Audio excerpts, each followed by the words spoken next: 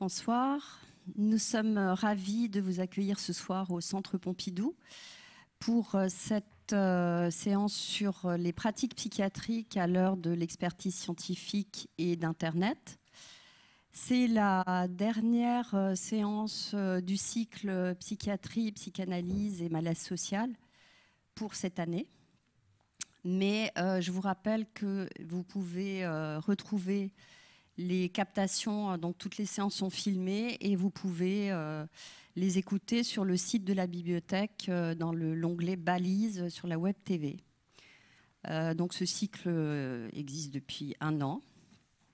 nous l'avons conçu avec Clotilde Leguil, qui est conseillère scientifique. Et ce soir, c'est elle qui va animer le, débat et présenter nos invités. Elle est euh, psychanalyste, philosophe et euh, professeure à l'Université Paris 8. À vous, Clotilde. Merci, Isabelle. Bonsoir à tous.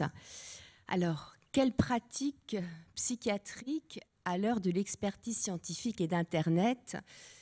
Telle est la question dont nous allons débattre ce soir avec Mathieu Bellassène, qui est chef de service en psychiatrie à l'hôpital d'Anières-sur-Seine, et Éric Laurent, psychanalyste, membre de l'école de la cause freudienne. Tous deux sont auteurs d'un certain nombre d'ouvrages que je présenterai tout à l'heure. Je les remercie euh, d'avoir accepté de partager avec nous leurs réflexions sur l'avenir d'une psychiatrie disjointe de la psychanalyse à l'heure de la souveraineté de l'approche quantitative de l'être humain, souveraineté de l'approche quantitative des troubles de l'être humain mais aussi à l'heure d'un véritable changement de monde auquel nous avons affaire avec la digitalisation de l'existence.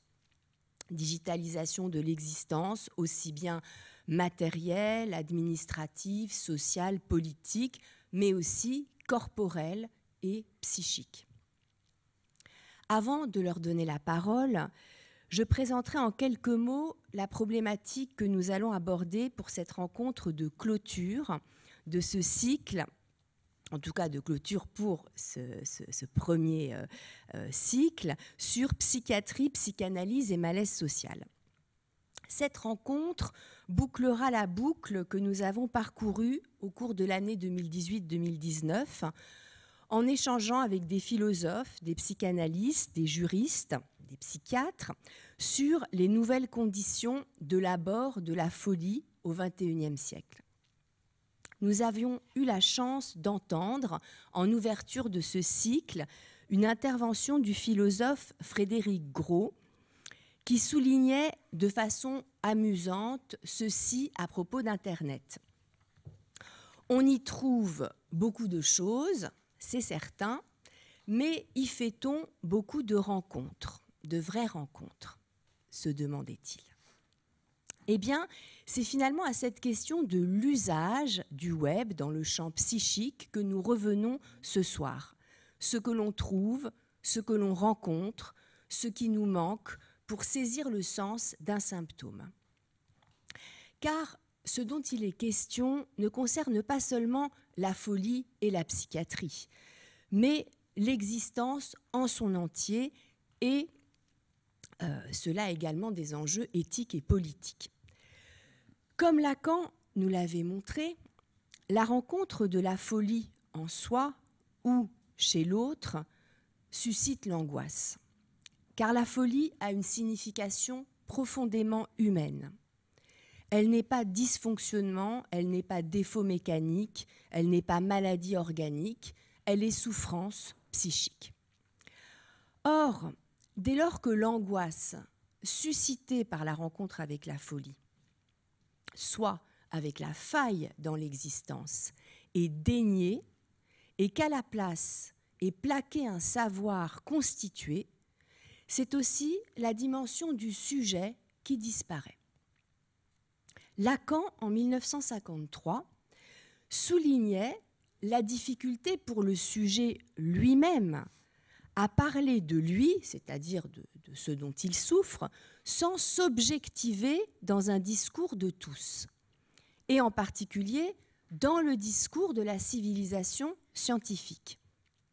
Il notait, je le cite, que le sujet perd son sens dans les objectivations du discours et que c'est là l'aliénation la plus profonde du sujet de la civilisation scientifique.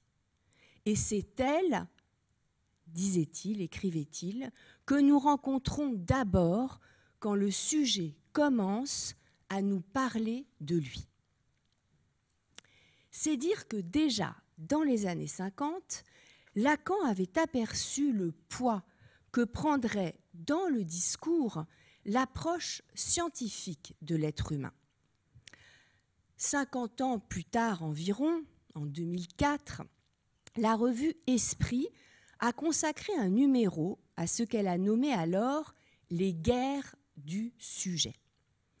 Numéro dans lequel Alain Ehrenberg s'interrogeait sur l'affrontement entre deux camps, ceux des défenseurs du sujet parlant et ceux des défenseurs du sujet cérébral. Aujourd'hui, nous sommes sans doute bien au-delà de cette approche. Il s'agit de savoir s'il peut encore être question d'un sujet dès lors que seule l'approche objectivable de la souffrance psychique semble reconnue comme approche légitime. Il y a donc, enfin, il est donc question de la souveraineté de cette approche quantitative qui conduit à aborder son être et son symptôme non pas à partir de la parole et du langage, mais à partir du nombre, de la quantité. C'est aussi ce que le philosophe et mathématicien Olivier Ray a nommé la colonisation de l'intime par le quantitatif dans son essai quand le, monde s'est fait nombre. Les chercheurs en sciences fondamentales souffrent eux-mêmes de cette approche purement quantitative de leurs travaux, comme en témoigne une très récente publication du Monde sous le titre Le blues des chercheurs français soumis à des évaluations quantitatives constantes qui affectent leur capacité créatrice. Une des questions dont nous débattrons ensemble est peut-être celle-ci. Dans un monde où l'approche quantitative et neuroscientifique de l'être humain prédomine, où il est probable aussi que la psychiatrie, comme discipline à part, distincte de la médecine, et dont l'objet est la folie, sa signification humaine, comme le disait le psychiatre Henri Hay, eh bien, dans ce monde, il est probable que la psychiatrie disparaisse dans les neurosciences et on peut se demander de quelle façon le sujet trouvera alors à se loger ailleurs. De quelle façon peut-être le sujet pourra-t-il subvertir les modèles qui lui sont proposés pour approcher son symptôme? Est-ce alors euh, l'univers d'Internet en tant que lieu d'un savoir mis à disposition de tous en tant que lieu aussi de constitution de communautés possibles qui permettra de donner lieu à une nouvelle approche de la souffrance psychique. Internet nous oblige à repenser notre rapport à l'autre, mais aussi à nous-mêmes. Peut-être vivrons-nous bientôt dans une Google City, projet en cours à Toronto, une city où toutes nos conduites, nos déplacements, nos comportements et peut-être notre folie sera surveillée, seront surveillées, digitalisées, recueillies sous forme de données numériques. Cette Google City va bien au-delà de ce que Orwell avait imaginé dans son roman 1984 et elle ne laissera plus de place à aucune résistance du sujet. Peut-être la Google Health viendra-t-elle se substituer à la psychiatrie classique Éric Laurent nous en parlera. On trouve beaucoup de diagnostics sur Internet à partir de données qui peuvent être objectivées et il est vrai que la souffrance peut ainsi trouver à se nommer. Mais ces diagnostics permettent-ils au sujet en proie à une souffrance psychique de subjectiver son mal, d'en faire quelque chose à partir de son histoire et de son trauma? Comment la pratique psychiatrique se voit-elle transformée par cette nouvelle possibilité qu'offre le web de trouver un diagnostic prêt à l'emploi et correspondant au discours du temps? Il y a donc dans ce monde digital euh, avec lequel nous devons compter en matière de rapport à la souffrance psychique et à la folie au XXIe siècle, à la fois un espace de liberté, c'est vrai, mais aussi un espace de suggestion et de domination. Y aura-t-il bientôt une Google psychiatrie qui n'aura plus besoin d'en passer par la rencontre avec un psychiatre? Plus de rencontres, plus de contingences, mais des mesures, des données et de la nécessité programmatique. C'est de cette perspective que nous allons parler en commençant par écouter maintenant Mathieu Bellassène qui va nous parler de la novlangue de la santé mentale. Et avant de lui donner la parole, je présente un ouvrage qu'il a apporté qui va sortir très prochainement qui s'intitule un ouvrage collectif qui s'intitule Éloge de la psychiatrie de secteur et je précise aussi qu'au mois de mars prochain, donc 2020, sortira euh, un ouvrage de Mathieu Bellassène sur euh, l'embrasement de la psychiatrie actuelle. Voilà, je lui donne la parole sur la langue de la santé mentale. Merci. Bon, déjà, merci pour l'invitation. Euh, avant de commencer, bon, j'ai préparé un topo écrit, mais en général, ça emmerde pas mal les gens, donc je ne vais pas le faire comme j'avais prévu. Euh, alors oui, la City, juste par rapport à ce que vous venez de dire, euh, je renvoie au bouquin d'Alain Damasio, Les Furtifs, parce qu'il y a à la fois euh, la gang, on peut dire la gaine qui peut nous encercler de la Smart City, mais il y a en même temps tout ce qui peut être des figures de résistance dont on n'a pas idée. Et c'est un petit peu ça, moi, qui me tient dans ma pratique de psychiatre de secteur de service public, à savoir comment on est sensible aux émergences qui, de toute façon, quoi que vous fassiez, il y aura de la résistance. Après, il faut voir dans quel sens ça va tourner. Et l'autre jour, on, était on fait un journal avec euh, des gens euh, là où je suis, avec euh, des patients et tout ça. Et quelqu'un a employé le terme de il faut réexister. C'est pas mal. Donc, bah, résistons ensemble. Donc, ça, c'est une petite, petite chose parce que finalement, la, question de la disjonction de la psychiatrie, psychanalyse, la question, enfin, moi qui me tient, c'est euh, comment on crée une psychiatrie où on rencontre l'autre, c'est-à-dire une personne, et comment euh, c'est la relation qui va euh, guider finalement le trajet selon des chemins qui sont peut-être pas prévus par avance, avec des cadres qui sont les nôtres initialement, c'est-à-dire que c'est les thérapeutes, les équipes qui proposent un cadre de soins, mais que ce cadre, finalement, il va s'altérer progressivement au fur et à mesure de la rencontre avec euh, les personnes, avec leurs familles, avec leurs proches, etc. Et que c'est dans cette altération-là que s'ouvrent ces émergences et qu'on soutient une autre possibilité d'existence. Mais une autre possibilité d'existence pour tout le monde, que ce soit pour nous, parce qu'on se soigne aussi dans nos dispositifs.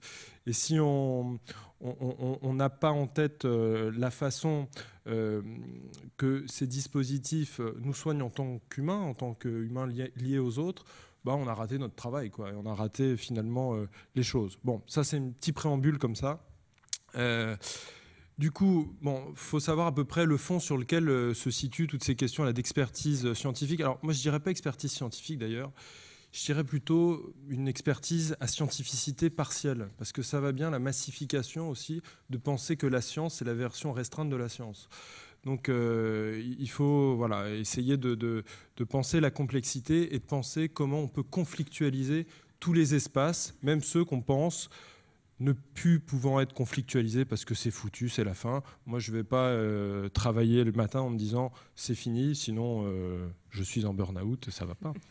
bon, du coup, la langue de la santé mentale. Donc, je renvoie à un petit bouquin que j'avais écrit à la Fabrique là, il y a quelques années sur euh, la santé mentale, où en fait, finalement, j'analysais les, différents rapports gouvernementaux et en France et en Europe euh, notamment, sur comment la santé mentale est devenue d'une problématique psychiatrique initiale, c'est-à-dire qui portait la désaliénation, c'est-à-dire comment la cité peut accueillir les personnes les plus en souffrance, comment c'est devenu finalement un outil au service de l'économie, euh, et même plus que de l'économie du néolibéralisme. C'est-à-dire qu'en 2005, vous avez eu un livre vert de l'Union européenne qui disait avoir une population en bonne santé mentale permettra de remplir les objectifs stratégiques de l'Union européenne. C'est-à-dire que si votre population est en bonne santé mentale, c'est un une bonne source d'investissement et donc euh, c'est très bien dans le climat de concurrence généralisé. Donc, comme vous l'avez entendu, la psychiatrie publique, elle va pas très bien.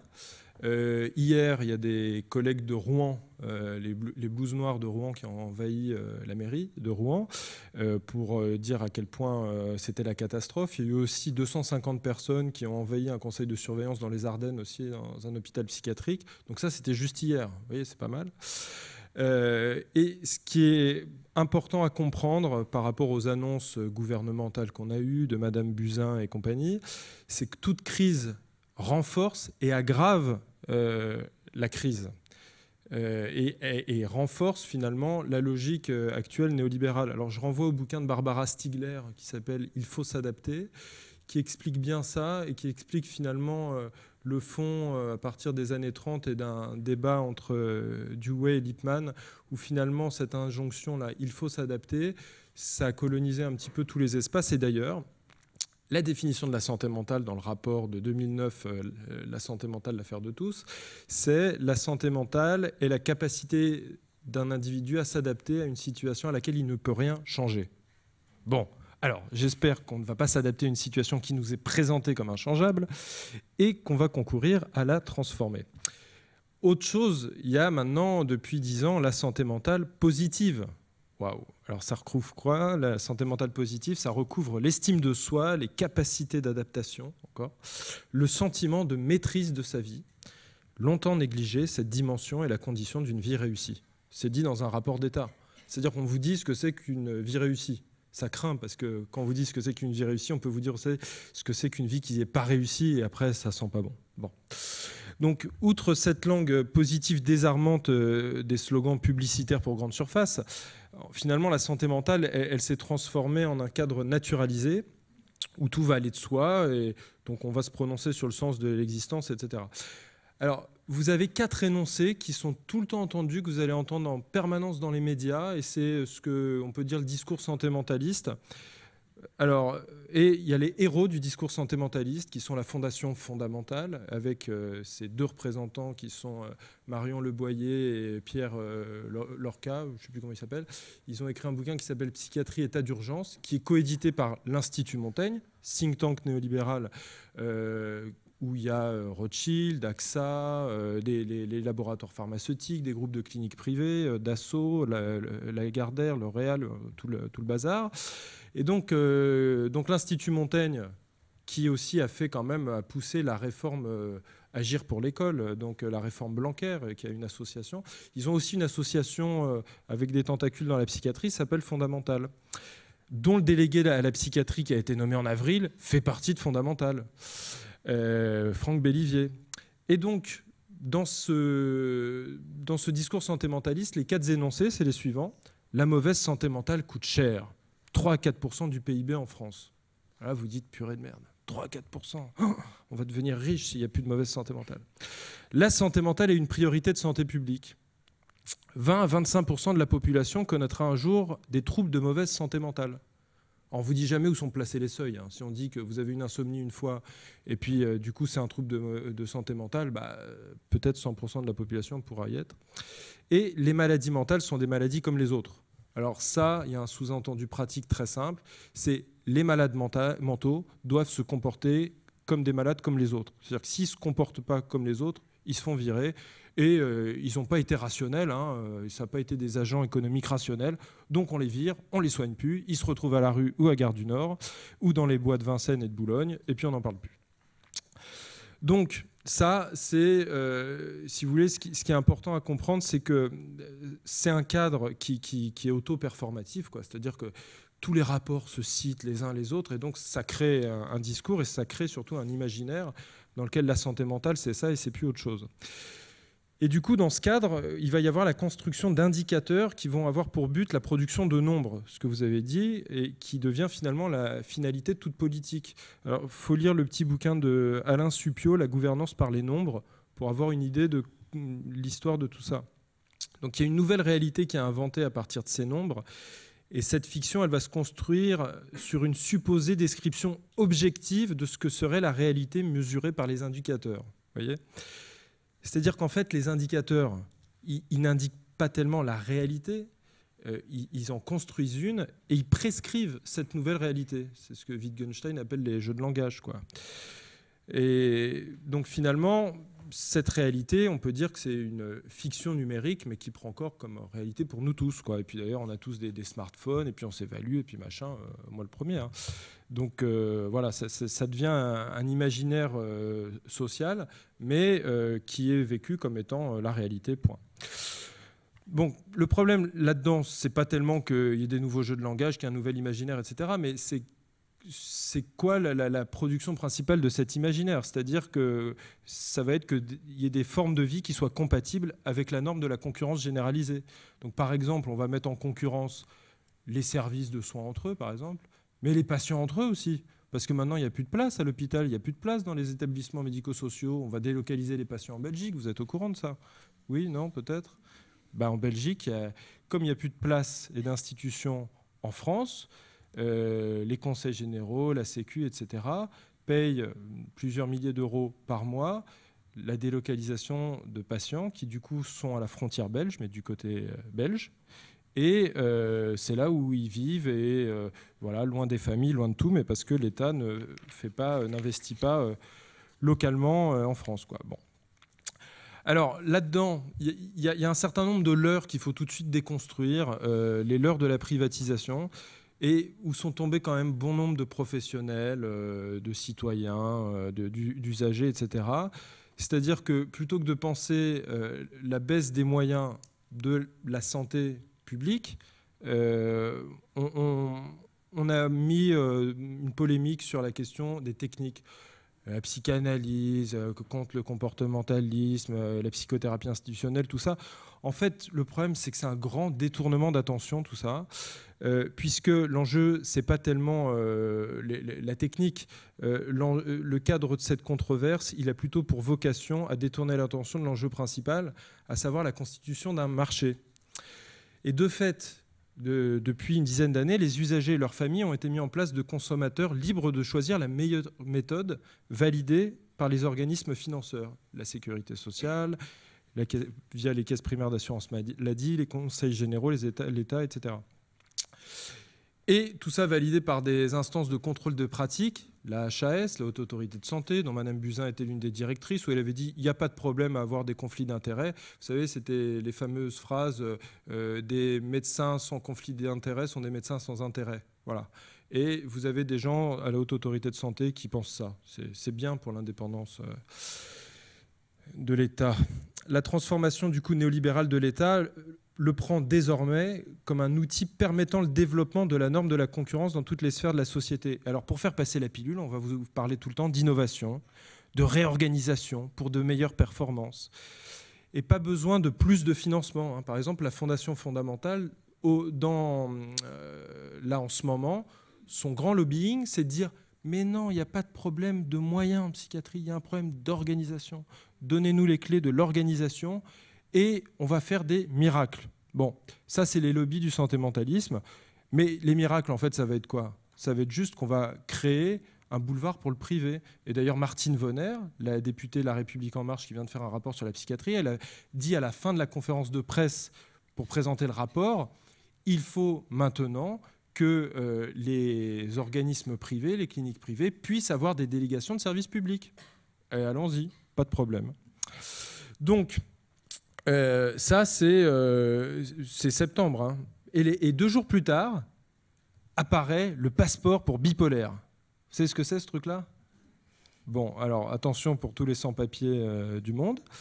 Le passeport pour bipolaire, c'est finalement quand vous avez un trouble bipolaire, vous allez avoir un panier de soins dans lequel il va y avoir un certain nombre de prestations on s'en fout du nombre de personnes que vous allez rencontrer, si c'est des équipes cohérentes entre elles qui vont se parler, etc.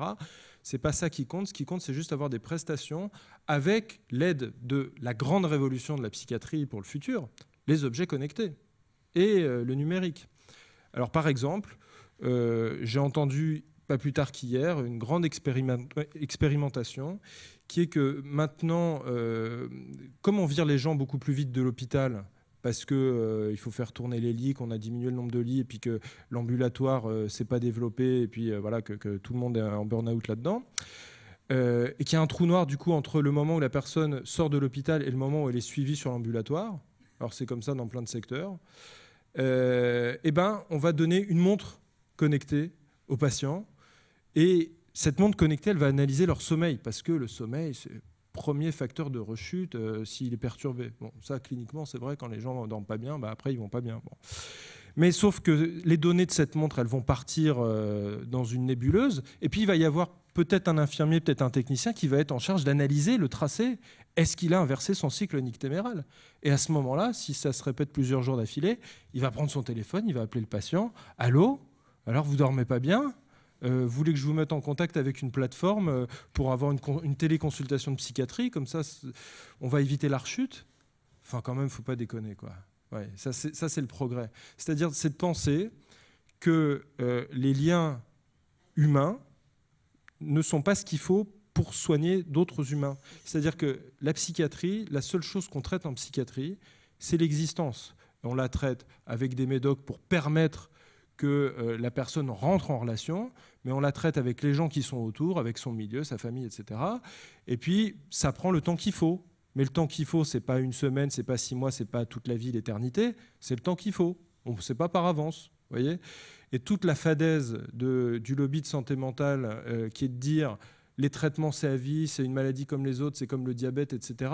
Ben non, les traitements c'est pas à vie. Les traitements c'est le temps qu'il faut. On n'en sait rien. C'est quoi le temps qu'il faut? Donc, euh, il faudrait un petit peu d'humilité, quoi. C'est ça le problème. Et là, il n'y a pas tellement d'humilité devant cette neuropsychiatrie de deuxième génération, qui à la fois articule une antipsychiatrie gestionnaire. Hein, c'est ce qu'on vous dit. Il faut le virage ambulatoire. Il faut que les gens, faut en finir. Il faut plus qu'ils soient dans l'asile. Très bien, on est d'accord. Mais euh, voilà, ils vont être euh, suivis avec des objets connectés, sans autre humain pour les voir. Hein, super. Et avec cette nouvelle neuropsychiatrie, euh, qui finalement, le problème, c'est pas tellement la recherche en neurosciences, machin, tout ça. Très bien, les recherches en neurosciences, les progrès, euh, pas de problème. Le problème, c'est l'imaginaire cérébral actuel. L'imaginaire cérébral, c'est de euh, réduire l'individu à son cerveau. Bien entendu, on a un cerveau, mais Tosquelles, il disait finalement, pour connaître le monde, ça se fait par les pieds. On marche, quoi. Et c'est la mise en mouvement qui fait qu'on rencontre le monde. Et, et c'est pas qu'une histoire de cerveau c'est pas, euh, c'est comme dans l'éducation, l'histoire des lois naturelles de l'enfant et toutes ces conneries. Si on réduit l'individu à un cerveau, c'est-à-dire qu'on réduit aussi la société au cerveau. Hein, c'est la neurosociété, ce qu'on a appelé avec euh, Pierre Dardot, Christian Laval et d'autres la neuropolitique. C'est-à-dire qu'on va assigner les individus à leur cerveau, mais pour naturaliser dans l'individu des problématiques politiques. Et je crois que c'est ça qu'il faut essayer de penser. Bon, alors je ne sais pas combien de temps il me reste parce que quand je commence à parler du temps. Je vais juste parler du coup du, diagnostic et de l'expertise, et puis je, euh, finirai un petit, mot quand même sur euh, euh, les altérations, voire les alternatives quand même. parce que au niveau du diagnostic et de l'expertise, là aussi, il faut, essayer de penser la conflictualité à l'intérieur même de la question du diagnostic. Par exemple, euh, Internet, ce n'est pas un bloc monolithique. Vous avez euh, des usages euh, politiques, on peut dire émancipateurs d'Internet, tout comme vous avez des, instances de normalisation, de contrôle, etc.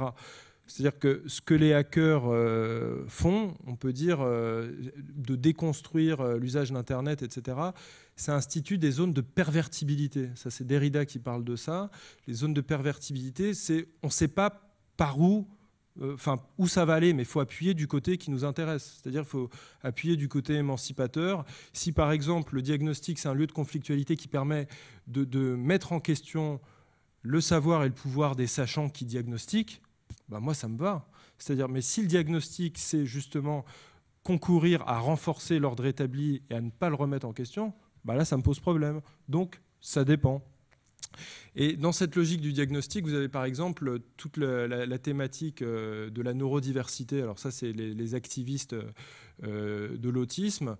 Euh, alors c'est surtout des patients, enfin des personnes, pas des patients, des personnes qui sont plutôt Asperger, donc qui parlent, qui hein, c'est pas les, gars qui s'automutilent et qui s'arrachent les yeux. ce qui est aussi le cas de l'autisme. Le problème, c'est que médiatiquement, on parle que des Asperger des hauts niveaux. Or, l'autisme, en, fait, en vrai, c'est pas complètement ça. Bon. Euh, et du coup, les, ces, neurodivers, hein, par rapport aux neurotypiques euh, qu'on peut être, ces neurodivers, eux, ils voient dans le diagnostic une source possible d'émancipation par l'imaginaire de la communauté. Hein, alors, c'est l'imaginaire euh, états-unien, etc. Je dis pas c'est bien, c'est mal. La question, c'est intéressant de voir comment les gens peuvent se créer des espaces de liberté là où ils sont. Et c'est un peu notre pratique à nous dans les institutions. Moi, l'hôpital public, si je n'arrive pas à penser quelles sont mes marges de manœuvre là où je suis, bah, euh, je vais pas faire grand-chose. Mais il y a là où je suis et il y a comment, au niveau de la société, on va faire des luttes politiques pour essayer de transformer l'ensemble. C'est-à-dire qu'il ne faut pas se limiter à des îlots, parce que les îlots, ça devient des isolats. Et pour reprendre la métaphore de Damasio, la question, c'est comment on, relie ces îlots en archipels.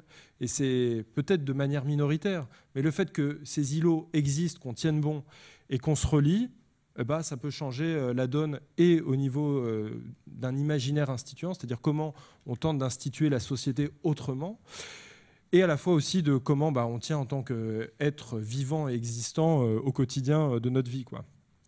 Alors, c'est comme la question de l'expertise, il faut la conflictualiser, parce qu'elle peut être surplombante, extérieure et inscrite dans un processus de domination.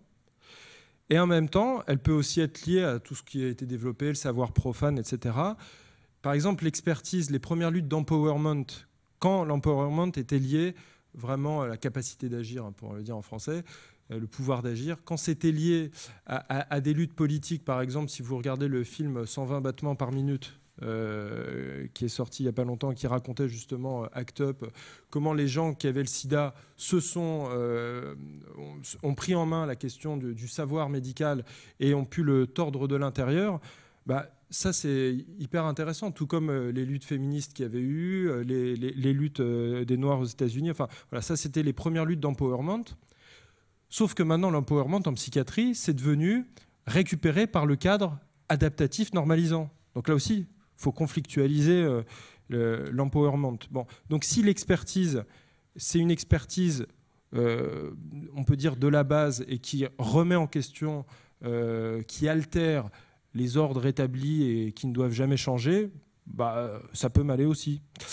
Bon, alors je vous ai parlé des passeports bipolaires, je vais aller vite, machin. Hein. il me reste combien de temps à peu près? Parce que 5 minutes. Bon. Euh, bon, en fait, je vais, je vais terminer, je vais passer très vite.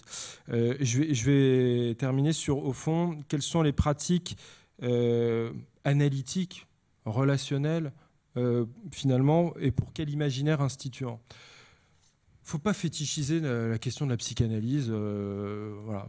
Pour moi, c'est assez simple. C'est comment ça va me faire penser, comment je me situe dans la relation à l'autre. C'est-à-dire que la personne que je vais recevoir, ça va me faire des trucs, comment je vais lui restituer ce que ça me fait, ça va faire des trucs à l'équipe, et puis comment on va mettre ça en partage, et comment des choses qui étaient retranchées de son histoire, etc., bah, ça va pouvoir se mettre en circulation. Voilà.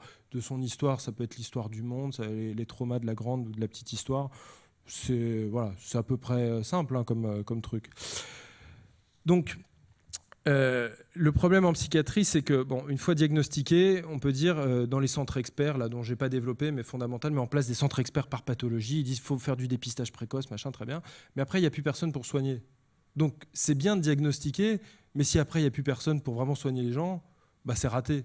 Donc là, c'est en train d'être raté, je vous le dis. Donc il va falloir qu'on se mobilise. Et une fois diagnostiqué, donc les personnes doivent trouver par eux-mêmes des structures de soins souvent saturées, où l'idéal des recommandations pour ce type de diagnostic ne pourra jamais être mis en place, sauf à recourir à des cabinets privés qui mettent en place les traitements ad hoc pour les diagnostics en question. Bon. Alors la question de la subjectivité, là aussi, il faut la conflictualiser. C'est-à-dire, pour moi, elle se situe en lien avec celle de la lutte pour une émancipation, hein, réexister, comme ils disaient mes, mes copains de et tout et tout. il peut y avoir des subjectivités asservies par tel ou tel dogme. Et là, euh, c'est tous les dogmes, hein, psychanalyse compris. Hein. Et ça, ça, peut, ces subjectivités-là peuvent les se transformer en asservissement. Bon, c'est toute la dialectique euh, de Foucault sur euh, l'assujettissement. À mon sens, si le diagnostic permet de remettre en question la hiérarchie de savoir et de pouvoir et qu'il institue une autre perspective altérant ces hiérarchies, alors on, va pouvoir parler d'une pratique altératrice du diagnostic. Mais si le diagnostic est congruent en logique de savoir et de pouvoir, voilà, c'est une pseudo-émancipation qui ne va pas marcher. Pour autant, il ne faut pas, à mon avis, s'arc-bouter en disant il ne faut pas livrer de diagnostic, on ne dira pas le diagnostic parce que c'est assigner l'individu à résidence et tout. On peut, et ça c'est pas mal avec euh, la psychothérapie institutionnelle, la psychanalyse, etc., on peut mettre du jeu là-dedans. On peut dire, bah oui, vous êtes bipolaire à temps partiel, euh, on peut dire n'importe quoi, mais on peut le dire sérieusement, mais en, instituant du jeu. Et si on est les premiers prescripteurs de l'assignation à résidence diagnostique des patients, en, tant que médecin ou en tant qu'équipe et tout ça. C'est-à-dire qu'il faut aussi nous-mêmes être un peu euh, dans une humilité en se disant, on pense que c'est ça, qu'est-ce que vous en pensez, et puis on, discute. quoi. Donc il faut que ça soit des, espaces euh, voilà, de, parole. Quoi. Euh, pour terminer, je dirais juste que sur cette question du jeu, Tosquelles, François Tosquelles, il avait un beau mot qui était la déconiatrie. La psychiatrie, si elle n'est pas déconiatrie, ça ne marche pas. Et la déconiatrie, c'est quoi? C'est accompagner la personne à sa mesure, mais de manière sérieuse, sans jamais trop se prendre au sérieux, parce que sinon vous allez figer les choses. Il ne faut pas figer les choses. Voilà. Et là, on peut, après, on peut discuter. Bon. C'est fini. Hein. J'avais plein de trucs à dire, mais ben, on, va, on, va, on va discuter après. Hein. on va discuter après. Merci beaucoup, Mathieu Bellassène. Avant de passer la parole à Eric Laurent, juste quelques petites remarques sur quelques, points peut-être sur lesquels nous, nous discuterons ensuite. Euh, donc effectivement, vous, vous, partez que de, ce, constat sur euh, ce qu'est le concept même de santé mentale, c'est-à-dire comment est-ce que finalement il n'est plus question de désaliénation dans la psychiatrie, mais il est question euh, de, mettre la psychiatrie au service de l'économie avec ce concept de santé mentale, euh, qui finalement, dès lors qu'on définit la santé mentale, on impose effectivement des normes de vie des normes euh, de l'existence euh, et, et on, disons qu'on il y a une sorte d'injonction à être en bonne santé. C'est ça. Euh, c'est-à-dire que euh, vous citiez le livre de Barbara Stiegler, il faut s'adapter. C'est-à-dire que nous, effectivement, du point de vue, euh, disons, du sujet ou de, ou de la souffrance psychique, on pourrait se dire que celui qui fait un burn-out, celui qui n'arrive pas à s'adapter, ben, en fait, c'est celui qui est plutôt en bonne santé mentale, parce que justement, il ne il ne subit pas, enfin il subit, mais à un certain moment, il y a quelque chose qui dit non en lui par rapport à ce qui est subi. Hein. Alors que du point de vue de l'approche santé mentaliste, euh, il y a cette, euh, euh, quand même cette, ce déni finalement de la parole du sujet qui va à un moment dire non à une situation qu'il rencontre et qui, qui, lui est insupportable, dans le travail par exemple. Bah, un gars qui fait un burn-out, la, première des, choses, je lui dire bon, bah, va falloir aller voir le syndicat. Et puis il va falloir ben euh, penser euh, ce qui se passe au niveau de la société. C'est ça. C'est-à-dire que si vous assignez le mec au fait qu'il fait une dépression, un burn-out, vous allez le fixer. Mmh. Il faut traiter à la fois, parce que bien sûr les gens peuvent être complètement déprimés, complètement mélancoliques, suicidaires, etc. Il ne s'agit pas de leur dire en fait, vous êtes en bonne santé mentale. Non. Non, on va pas leur dire ça. On, va traiter euh, ce qu'ils racontent, mais surtout, surtout, surtout, par exemple, moi, je mets jamais d'antidépresseur directement. Je leur dis, oulala, d'abord, on va vous mettre là en arrêt, on va discuter un peu. Ensuite, vous allez me prendre euh, rendez-vous avec un avocat, le syndicat, le machin. Et puis après, on, verra euh, les choses. Et puis, ça serait bien que vous parliez aussi avec vos collègues. C'est-à-dire que la fragmentation des collectifs, euh, il faut la traiter aussi. Mais je crois qu'il faut que les thérapeutes, là, vraiment pensent la réalité des gens. C'est-à-dire que si on pense juste le fantasme, ça marche pas. Faut, là, on est dans un moment où il faut penser la réalité de ce qui arrive aux gens parce que c'est cette réalité-là qui, fait exploser. Euh, beaucoup de situations. Et, pour finir, avant de passer la parole à Éric Laurent, effectivement, je pense qu'il y, y, a un point qui est, qui est crucial, c'est cette atmosphère idéologique dans laquelle nous sommes, au-delà même de la psychiatrie, qui concerne aussi l'éducation nationale, qui est qu'on pense que le lien humain n'est plus ce qui convient pour traiter l'humain. Effectivement, il faut, il faut de de, la technologie pour répondre aux problèmes euh, humains. Et donc, euh, on revient quand même à cette. Quand vous dites il faut un espace de jeu, JEU, de conflictualité, c'est aussi un espace pour le jeu et pour la parole. Enfin, c'est pas seulement, effectivement, il ne s'agit pas seulement de psychanalyse ici. Il s'agit de la question de la rencontre humaine, qui est euh, fondamentale aussi bien dans le champ de l'éducation que dans celui de la médecine, que dans celui de la psychiatrie. Donc, c'est quand même la question de la rencontre et de la parole qui, est au cœur là, de notre propos. Alors, je passe. Euh, la parole justement à Éric Laurent, dont je dis euh, avant qu'il commence, qu'il est l'auteur de plusieurs ouvrages, notamment euh, un ouvrage sur l'autisme, La bataille de l'autisme, et son dernier ouvrage qui s'intitule L'envers de la biopolitique, et ce sont deux ouvrages qui sont parus aux éditions Navarin. Voilà, je lui donne la parole. Donc, Lacan se méfiait des classifications visant à classer et ségréguer la folie. Il en est venu à dire tout le monde est fou, ce qui ruine les classifications. À l'heure de l'expertise scientifique et d'Internet, je trouve spécialement intéressante la difficulté particulière que rencontre la psychiatrie contemporaine à stabiliser un système diagnostique cohérent dans la période qui s'ouvre après la rupture constituée entre la recherche fondamentale et le système classificatoire des maladies mentales que constitue le Diagnostic Statistical Manual, DSM américain. Car cette rupture est aussi consommée avec les autres systèmes internationaux du même ordre, ICD, qui est une classification européenne, ou la CIM, classification internationale de l'OMS. Un lien fondamental avec l'espoir d'une langue unifiée en psychiatrie a été rompu. Le système de classification DSM, qui s'est d'abord voulu la grande rupture avec euh, les hypothèses théoriques psychanalytiques et spécialement celles du sujet de l'inconscient, se voulait euh, être cette langue nouvelle. Ce Word in Progress a duré 35 ans, dominé directement ou indirectement, euh, a donné, dominé les débats dans le champ du diagnostic. D'abord strictement américain, le projet s'est globalisé. Se présentant au départ comme un système empirique, il s'est imposé comme le seul projet de logiciel complet de gestion de la chambre de la psychiatrie. À son acmé, il y a environ 4-5 ans, il ambitionnait de gérer la définition des entités pathologiques reconnues, leurs modalités diagnostiques, les protocoles de soins établis selon la norme de l'evidence-based medicine, de guider les études portées sur l'évaluation des effets des médicaments, de définir les cadres de la recherche. Et il prétendait intégrer en permanence dans un système souple toutes données fournies par de nouvelles approches scientifiques et techniques. Le projet euh, guidant ce logiciel a volé en éclats lors de la publication du DSM5. Il y a maintenant d'un côté la recherche scientifique qui se fonde sur un tout autre système, et de l'autre les praticiens avec un système sans fondement scientifique reconnu, mais indispensable, au moins pour les praticiens américains, car il intègre de façon claire les conséquences administratives, l'ouverture des droits au remboursement des soins, l'accès à des programmes éducatifs spéciaux pour les enfants et les obligations légales liées à chaque diagnostic.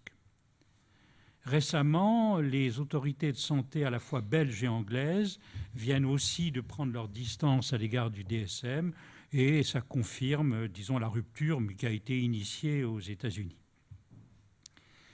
La séparation entre praticiens et chercheurs se marque d'autant plus que les grands laboratoires ont décidé les uns après les autres, à partir de 2010, de fermer leur département de recherche de nouveaux médicaments psychotropes, au motif que cette recherche serait trop hasardeuse en l'état actuel de la science.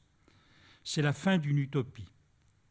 Après l'effondrement du logiciel unifiant le champ, une série de modèles concurrents s'affrontent. Ça va des biologistes fondamentalistes jusqu'à l'appel à résolument choisir, plutôt qu'un modèle classificatoire renouvelé, un modèle sur mesure, un modèle narratif, conscient de son caractère composite pour aider chaque sujet à se frayer son propre chemin dans l'impasse du diagnostic DSM. Et là, nous voyons la question se poser, jusqu'où la science peut-elle vraiment rendre compte des diagnostics? On oscille entre la boucle de justification du diagnostic par le remède psychotrope et les espoirs du diagnostic qu'offre Internet sous la forme de big data, conséquence de l'âge numérique euh, qu'avait aperçu Lacan avec son Nous sommes à l'époque du Yadelin. Euh, c'est ce que les responsables de Google ont appelé The New Digital Age. Comment, dans cette euh, nouvelle distribution, peut-on garder son nom propre? Alors voyons, reprenons l'impasse du diagnostic DSM. La crise euh, qui, a suivi la publication euh, du DSM, disons il y a en 2013, a été précédée par un malaise croissant, gagnant les rangs de l'Association américaine de psychiatrie responsable de son élaboration les uns derrière les autres, les anciens responsables du projet ont commencé à se désolidariser du, monstre que c'était devenu. Je ne m'intéresserai qu'à une seule euh, critique, celle de l'ancien directeur du DSM-4, qui s'appelle Alain Frances, parce qu'il est assez connu en France. Sans doute euh, son nom propre y est-il. Et, euh, et, lui considère qu'il valide l'ensemble du projet DSM, considérant qu'il a sauvé la psychiatrie des années 80 en la libérant des confusions et des ambiguïtés au cœur du modèle psychanalytique. Parce qu'il remarque très justement que la difficulté de la psychanalyse à inspirer des classifications stables n'est pas liée à un problème contingent. Elle est consubstantielle à son discours. Il énonce le problème épistémologique en le, en le centrant, très à l'américaine, sur le statut du normal. Il dit le modèle psychanalytique avait tendance à se vouloir un peu attrape-tout. À une notable exception près, le normal n'y trouve jamais sa place.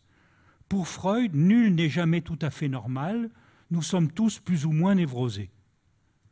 Et au fond, c'est très juste de, dire ça très discrètement, très low-key, c'est central. Et c'est ce que Lacan a radicalisé en disant tout le monde est fou, c'est-à-dire délirant. C'est pas tout le monde est un peu névrosé, tout le monde est fou. Pour Frances, si le système DSM a dérapé, ce n'est pas la faute du texte, c'est la faute du contexte.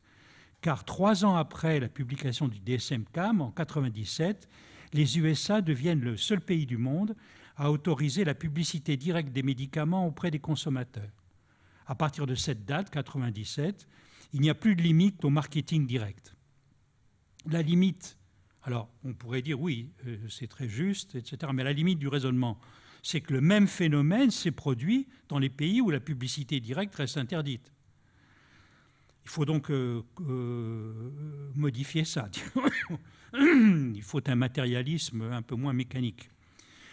Euh, au rôle de Big Pharma, il faut ajouter le poids des associations de parents qui veulent avoir droit à des services appropriés pour leurs enfants, auxquels seul un diagnostic donne droit, le rôle des associations de consommateurs euh, psychiatrique qui cherche à regrouper toujours plus d'adhérents. Il explique ainsi les bulles diagnostiques qui sont là. Et en effet, Frances constate très justement qu'au cours des 15 dernières années, quatre grandes épidémies de troubles mentaux ont éclaté soudainement. Le nombre d'enfants bipolaires a augmenté de 40%, les autistes de 30%, les hyperactifs avec troubles de l'attention ont triplé, tandis que la proportion d'adultes éligibles à un diagnostic de bipolarité a doublé l'espèce humaine n'a pas changé en dix ans. Les critiques d'Alain Française préservent cependant l'essentiel du projet DSM, cohérent, philosophiquement ancré dans le courant logico-positiviste, si influent dans la philosophie américaine d'après-guerre. En fait, euh, on pourrait dire, comme l'ont dit certains épistémologues, que le projet DSM repose sur une erreur fondamentale il a conservé la forme logique d'un arbre formel classifiant les maladies mentales sur un modèle botanique de genre, d'espèces, de sous-espèces, d'abord présenté par Linné dans son système de la nature.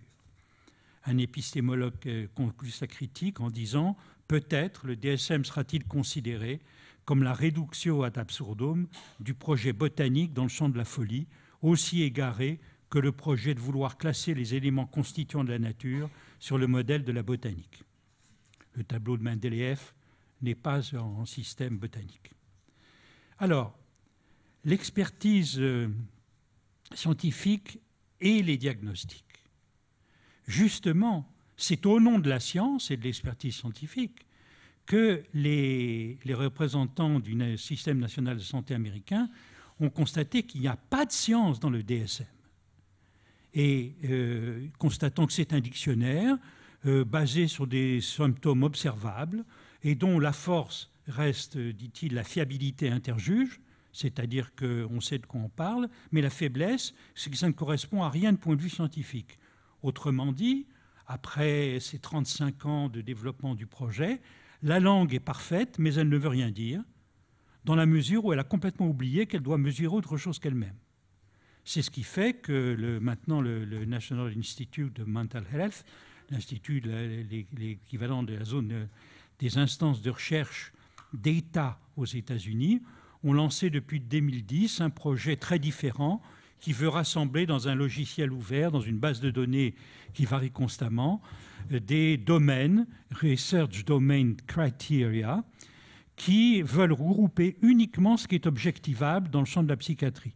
Neuroimagerie, marqueurs génétiques, euh, altération des fonctions cognitives et des circuits neurologiques. Point très. De l'autre côté, à part les, les grandes bureaucraties d'État, les géants du numérique, comme Google, eux aussi se lancent dans la construction de bases de données gigantesques, visant à mettre au point une médecine personnalisée, visant le 1, en regroupant toutes les données d'un individu. À travers différentes initiatives spécialisées, de 23andMe pour la génétique à Calico, qui, qui cherche des choses vagues comme retarder puis tuer la mort. Il y a de quoi faire. Google développe, lui, son projet de rassembler toutes les données nécessaires à l'utilisation des rapports de la génétique, de la biologie, des nanotechnologies pour des traitements personnalisés. Le diagnostic de l'avenir veut arriver à intégrer à la fois les résultats des grandes séries obtenues par les bureaucraties sanitaires et la médecine individualisée, globalisée, qui dépasse complètement les limites des bureaucraties nationales. C'est l'utopie de la médecine dite de précision. Cependant, le mélange de science, de mythes et d'espoir que recèle la médecine prédictive ne doit pas faire oublier pour autant les difficultés de la modélisation du cerveau. Les difficultés de l'initiative euh, européenne du Human Brain Project en témoignent. Elle a donné lieu à des conflits insolubles entre modélisateurs purs et neuroscientifiques expérimentateurs, en 2014, ça a donné la dissolution complète du comité exécutif qui a du mal depuis à produire des résultats qui soient, qui soient autre chose que difficiles à apprécier. Alors, la limite de la boucle de justification des diagnostics par le psychotrope. Le modèle d'action des psychotropes a été fixé, par simplification, sur leur action sur les neurotransmetteurs. C'est l'effet sérotonine, comme dirait Michel Houellebecq. Cette régulation des transmetteurs justifie ensuite la bijection entre diagnostic et traitement. Chaque diagnostic aurait sa, euh, cible précise et euh, la dépression se définirait alors par ce que soit une antidépresseur. Et ça serait la production d'un savoir actif sur la dépression. Stephen Hyman, grand chercheur, ancien vice-recteur du, NIM, qu'il a quitté pour rejoindre la recherche la plus pointue, en collaboration MIT-Harvard, critiquait sévèrement ce modèle. Il faisait en 2012 le bilan de 50 ans d'usage de neuroleptiques, depuis l'imipramine et les premiers IMAO, et remarquait, depuis la découverte de la clozapine au milieu des années 60, le mécanisme d'action des, des, des antidépresseurs ne sont pas compris et restent non compris au-delà de quelques événements moléculaires initiaux. Et donc, euh, on ne cesse les, systèmes, la recherche américaine euh, publique, le National Institute of Mental Health, est beaucoup moins soumis à l'industrie que ne l'est la haute autorité de santé française, et il ne cesse de mettre en garde sur l'emploi durable des neuroleptiques, de mettre en garde sur les difficultés de sevrage des antidépresseurs, de mettre en garde sur le, fait que les nouvelles soi-disant générations euh, de neuroleptiques n'ont pas plus de résultats que les anciennes, même si elles sont mieux acceptées. Et au fond, euh, il se livre à une critique beaucoup plus approfondie euh, grâce au système universitaire américain extrêmement puissant et où il y a des universités très puissantes et qui ne disent pas, disent pas toute la même chose, et avec des équipes qui entretiennent un débat extrêmement vivant. Alors, maintenant, pourquoi les espoirs diagnostiques par le big data? Car il y a une difficulté propre au champ psychiatrique et qui est fondamentale. C'est celui des trop petites séries de cas homogènes qui éloignent les résultats de la sécurité obtenue par les grands nombres visés par euh, l'EBM, Evidence-Based Medicine. Le recours artificieux à l'artefact des méta-analyses, multiplication intégrée d'analyses de tout petits nombres, n'arrive pas à suppléer ce défaut radical. Il y a donc l'espoir de pouvoir se passer d'une théorie biologique permettant de modéliser euh, le cerveau, trouve dans le nouveau statut épidémiologique et épistémologique du big data un appui renouvelé. En effet, l'obtention par le calcul d'énormes bases de données permettant de mettre au point un algorithme permettant de prédire le comportement d'un système se fait sans avoir de théorie autre que ce calcul même. Ainsi, certains théoriciens soulignent que nous sommes, grâce au calcul de masse, sortis de l'ère épistémologique du pourquoi, de la cause, pour entrer dans l'ère du quoi, qui se livre dans l'algorithme, qui donne accès à son fonctionnement par l'intelligence artificielle.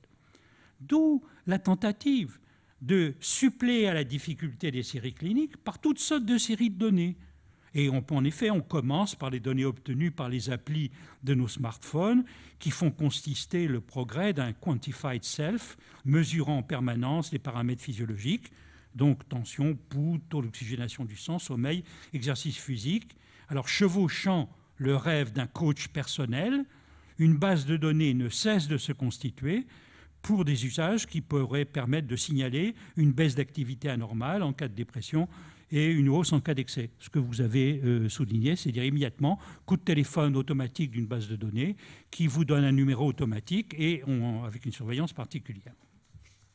C'est cette possibilité dont veut se saisir Google Health, la zone santé de chez Google. Par ailleurs, le National Institute of Health, qui chapeaute tous les instituts américains spécialisés, là qui est public, a lancé en 2016 le programme All of Us, n'est-ce pas, OAS jouant sur US, euh, qui enrôle un million de participants et qui veut développer une base de données de precision medicine pour ce million de participants. Les participants remplissent en permanence des formulaires médicaux, fournissent des échantillons biologiques, donnent leur assentiment pour rendre public leur dossier médical électronique. Ils sont tous volontaires. Ils seront constamment reliés à un portail Internet afin d'enregistrer les données leur concernant, particulières, sommeil, alimentation, habitudes de vie, etc. Donc, ça recoupe le projet euh, du, du, directeur du Mental Health. Nous devons injecter plus de mathématiques à tous les niveaux d'activité. Cet appel à plus de mathématiques a une version française que nous pouvons suivre dans les travaux de la Fondation fondamentale. Donc, elle-même regroupe essentiellement avec euh, donc des chercheurs euh, en biomédecine et travaille avec euh, donc l'Institut Montaigne, faisant interface avec des donateurs privés pour former un lobby puissant et ambitieux qui veut modifier la clinique et les praticiens. Cette fondation veut mettre sa force au service d'une approche multidisciplinaire entre sciences dures. Vous en avez parlé, le livre L'urgence en psychiatrie s'est appuyé là-dessus. Alors, l'ennuyeux, c'est que les corrélations et régularités extraites de bases de données très variées ont un caractère étrangement disparate et centrifuge. Je cite un rapport de fondamental. Parmi les facteurs environnementaux qui modifient le risque d'apparition de la maladie mentale, on compte les toxiques, en particulier le cannabis, les traumatismes crâniens, les infections maternelles pendant la grossesse, les complications obstétricales, les traumatismes psychologiques pendant l'enfance, la saison de naissance, l'urbanicité, la migration et la pollution. Ça fait beaucoup. S'en déduisent des politiques préventives, mais comme on ne peut interdire ni l'urbanicité, c'est-à-dire le fait de vivre en ville, ni la migration, ni la pollution, comment définir des priorités? De même, la Fondation découvre des liaisons dangereuses entre immunité et maladie mentale en constatant qu'une une infection par la grippe ou la toxoplasmose accroît le risque d'une survenue ultérieure d'un trouble bipolaire ou la schizophrénie chez l'enfant. Ben, S'il faut arrêter toutes les grippes, ça va être très difficile. Et la Fondation fondamentale veut poursuivre un très vaste problème des sensibilités immunitaires. L'ennuyeux de cette approche, c'est qu'elle a pour résultat d'inclure comme psychose auto-immune quasiment l'ensemble de la psychopathologie, c'est-à-dire bipolaire, schizophrénie, autisme, alors que par ailleurs, la nouvelle gestion de la maladie mentale vise à extraire le plus possible de diagnostics, comme l'autisme, du champ de la psychiatrie. Récemment, un délégué gouvernemental euh, notait que face à un spectre de l'autisme très large, il faut qu'on arrête de parler de psychiatrie, disait-elle. Alors, où en est-on maintenant euh, dans l'état du diagnostic? Étant donné l'urgence, en effet, euh, psychiatrique constatée, il faut noter que notre système psychiatrique est à bout de souffle. Depuis le début de la décennie, il a dû absorber 300 000 patients supplémentaires, faisant l'objet d'un suivi régulier. En face, l'offre n'a pas suivi. En 40 ans, on a perdu 40% des psychiatres. D'où un phénomène réel, vous en parliez euh, très bien, l'abandon et la raréfaction des crédits alloués à la psychiatrie. Pour les adultes, abandon à la rue, à la prison, à la médication excessive, à l'augmentation du nombre de suicides. Pour les enfants, l'objectif d'inclusion du maximum d'enfants dans l'école trouve sa limite. Comme le notait un psychiatre, faute de structures médico-sociales adaptées et faute de dispositions inclusives prises par l'ensemble des champs sociaux, la psychiatrie reste sollicitée en permanence. Et par contre, certaines personnes qui ont besoin d'hospitalisation de sauvegarde ciblée en urgence courte pour les protéger ainsi que leurs familles qu'ils demandent, là, il est difficile de trouver des places et de les faire accepter par les services. Donc, pour améliorer les connexions et les réseaux entre psychiatrie, éducation et structures médico-sociales, pour atteindre le fameux zéro sans solution issu du rapport du conseiller d'État Denis Pifteau en 2013, peut-on en matière de soins ne compter que sur les espoirs de la recherche en neurosciences et se passer des psychiatres? Sûrement pas. Face à ces abandons, les sujets répondent en s'accrochant aux diagnostics les moins stigmatisants et à ceux qui donnent accès aux meilleurs soins. Il s'agit de phénomènes de réponse subjective et de croyance et de désir. Le sujet est-il partout dans une classification ou le sujet est-il ce qui échappe à une classification? Sans doute les deux à la fois. Le sujet se manifeste comme ce qui rend instables les classifications. Quelles qu'elles soient, des glissements se produisent sans cesse dans les usages, donnant lieu à l'effet savonnette que notent les statisticiens. Les sujets s'emparent des catégories qui leur sont proposées par les spécialistes pour en faire un usage en dehors de l'étiquette, et pas seulement en prenant des médicaments en dépit de toutes les autorisations du marché. On le voit pour les trois catégories qui ont donné lieu aux plus grandes bulles diagnostiques, bipolaires, autistes, hyperactifs. Ces bulles diagnostiques doivent beaucoup à ces effets d'emballement. Elles s'accompagnent d'ailleurs très bien du caractère parfaitement incertain de certains des diagnostics. Par exemple, le diagnostic de troubles du déficit et de l'attention avec ou sans hyperactivité est le plus incertain euh, scientifiquement des diagnostics, bien qu'il se soit répondu mondialement et qu'il résiste à toutes les critiques qui lui sont adressées. L'idée, disons, l'effet se poursuit aussi par un autre effet identificatoire curieux. Les sujets parlent d'eux-mêmes dans la langue des spécialistes ou, de l'autre côté, la critique. Plus de séparation nette entre ce qui serait la langue dans laquelle se dit le symptôme et les catégories utilisées pour le saisir. On voit fleurir les témoignages de sujets qui proposent leur cas comme exemple de narration d'une modalité de vie avec un diagnostic, mais vécu de façon singulière. Ces récits traversent maintenant tout le champ clinique. Autisme, TOC, phobie, schizophrénie, accès paranoïaque, etc. C'est au fond la réalisation du modèle narratif en psychiatrie pour chacun, chacun se frayant son propre chemin, qui met en valeur le hors-cadre du sujet, sa subversion fondamentale des catégories, son caractère foncièrement hors norme. La pratique psychiatrique de notre époque résonne avec la façon dont chaque sujet loge la faille fondamentale de sa mentalité au sens de Lacan qui disait ça n'est pas du tout antitaire la maladie mentale, ça ne fait pas des entités, c'est plutôt la mentalité qui a des failles. La faille de la mentalité rouvre le trou dans les discours, au-delà des noms communs qui constituent les classifications, les moyens qui sont réclamés pour avoir une psychiatrie décente ont aussi pour enjeu la possibilité que chacun des usagers de cette psychiatrie garde son nom propre au-delà des étiquettes possibles.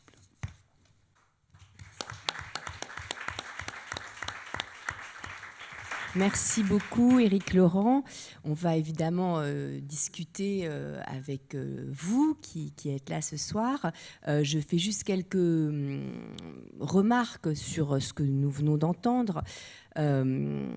J'ai été intéressée par la façon dont vous nous avez retracer ce parcours qui nous fait passer d'une psychiatrie adossée au DSM avec ses différentes versions à une psychiatrie euh, en train d'être diluée dans, les neurosciences.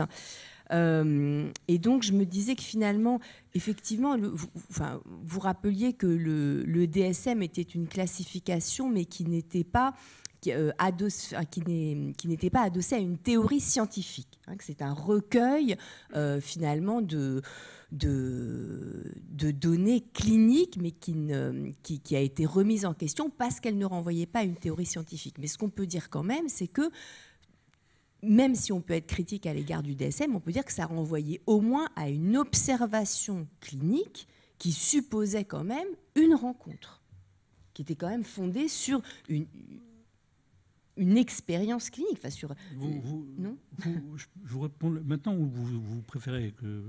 Euh, ben, non, non, maintenant, allez-y. C'était pas fondé sur une rencontre. C'était fondé, le DSM considérait que la rencontre était à éviter. Il fallait l'objectivation stricte du phénomène posé. C'est là, c'est en, sorte. C'est pour ça que c'est logico-positiviste. Mhm. C'est cohérent. Ce mhm. C'est pas du tout un effet. C'était, ça visait à éliminer toute subjectivité du clinicien et du patient, considérés comme des obstacles à l'objectivation du phénomène. Et au contraire, il fallait obtenir l'assaise de disparaître de la rencontre et de pouvoir décrire. Alors, il y avait des, ça atteint, ça pouvait atteindre. Il y, a, un effet comique quand on lit aussi le, DSM, le, truc, euh, le cochage systématique de, de euh, extraire de tout dire, enlever toute subjectivité pour savoir si combien de temps ça se répète, alors vous dormez combien d'heures par nuit, etc. Depuis combien de temps, ça fait plus de 15 jours, moins de 15 jours, euh, etc. Euh, combien de fois ça s'est répété, euh, combien de... Quel Strictement. Et c'est pour ça que la, la dite fiabilité interjuge était faite sur l'idée que la subjectivité du clinicien était un obstacle à parler puisqu'on constatait que dans la psychiatrie, euh, je dirais avant le DSM, euh, vous mettiez un Anglais de Cambridge, de l'hôpital universitaire de Cambridge, un Américain euh, ou un Français, ils n'étaient pas du tout d'accord sur ce qu'était la schizophrénie. au lieu de considérer que c'était bien ça, que ça faisait un débat, qu'on, justement, qu'il y a des traditions, qu'il y avait des traditions psychiatriques différentes et que justement ils n'étaient pas d'accord et qu'à partir de là, ou comme dirait euh, Mathieu Blassen, euh, une certaine conflictualité, euh, ou au moins une pluralité, pouvait permettre de faire surgir une vérité. Là, non. C'est au contraire, c'est réduire tout ça.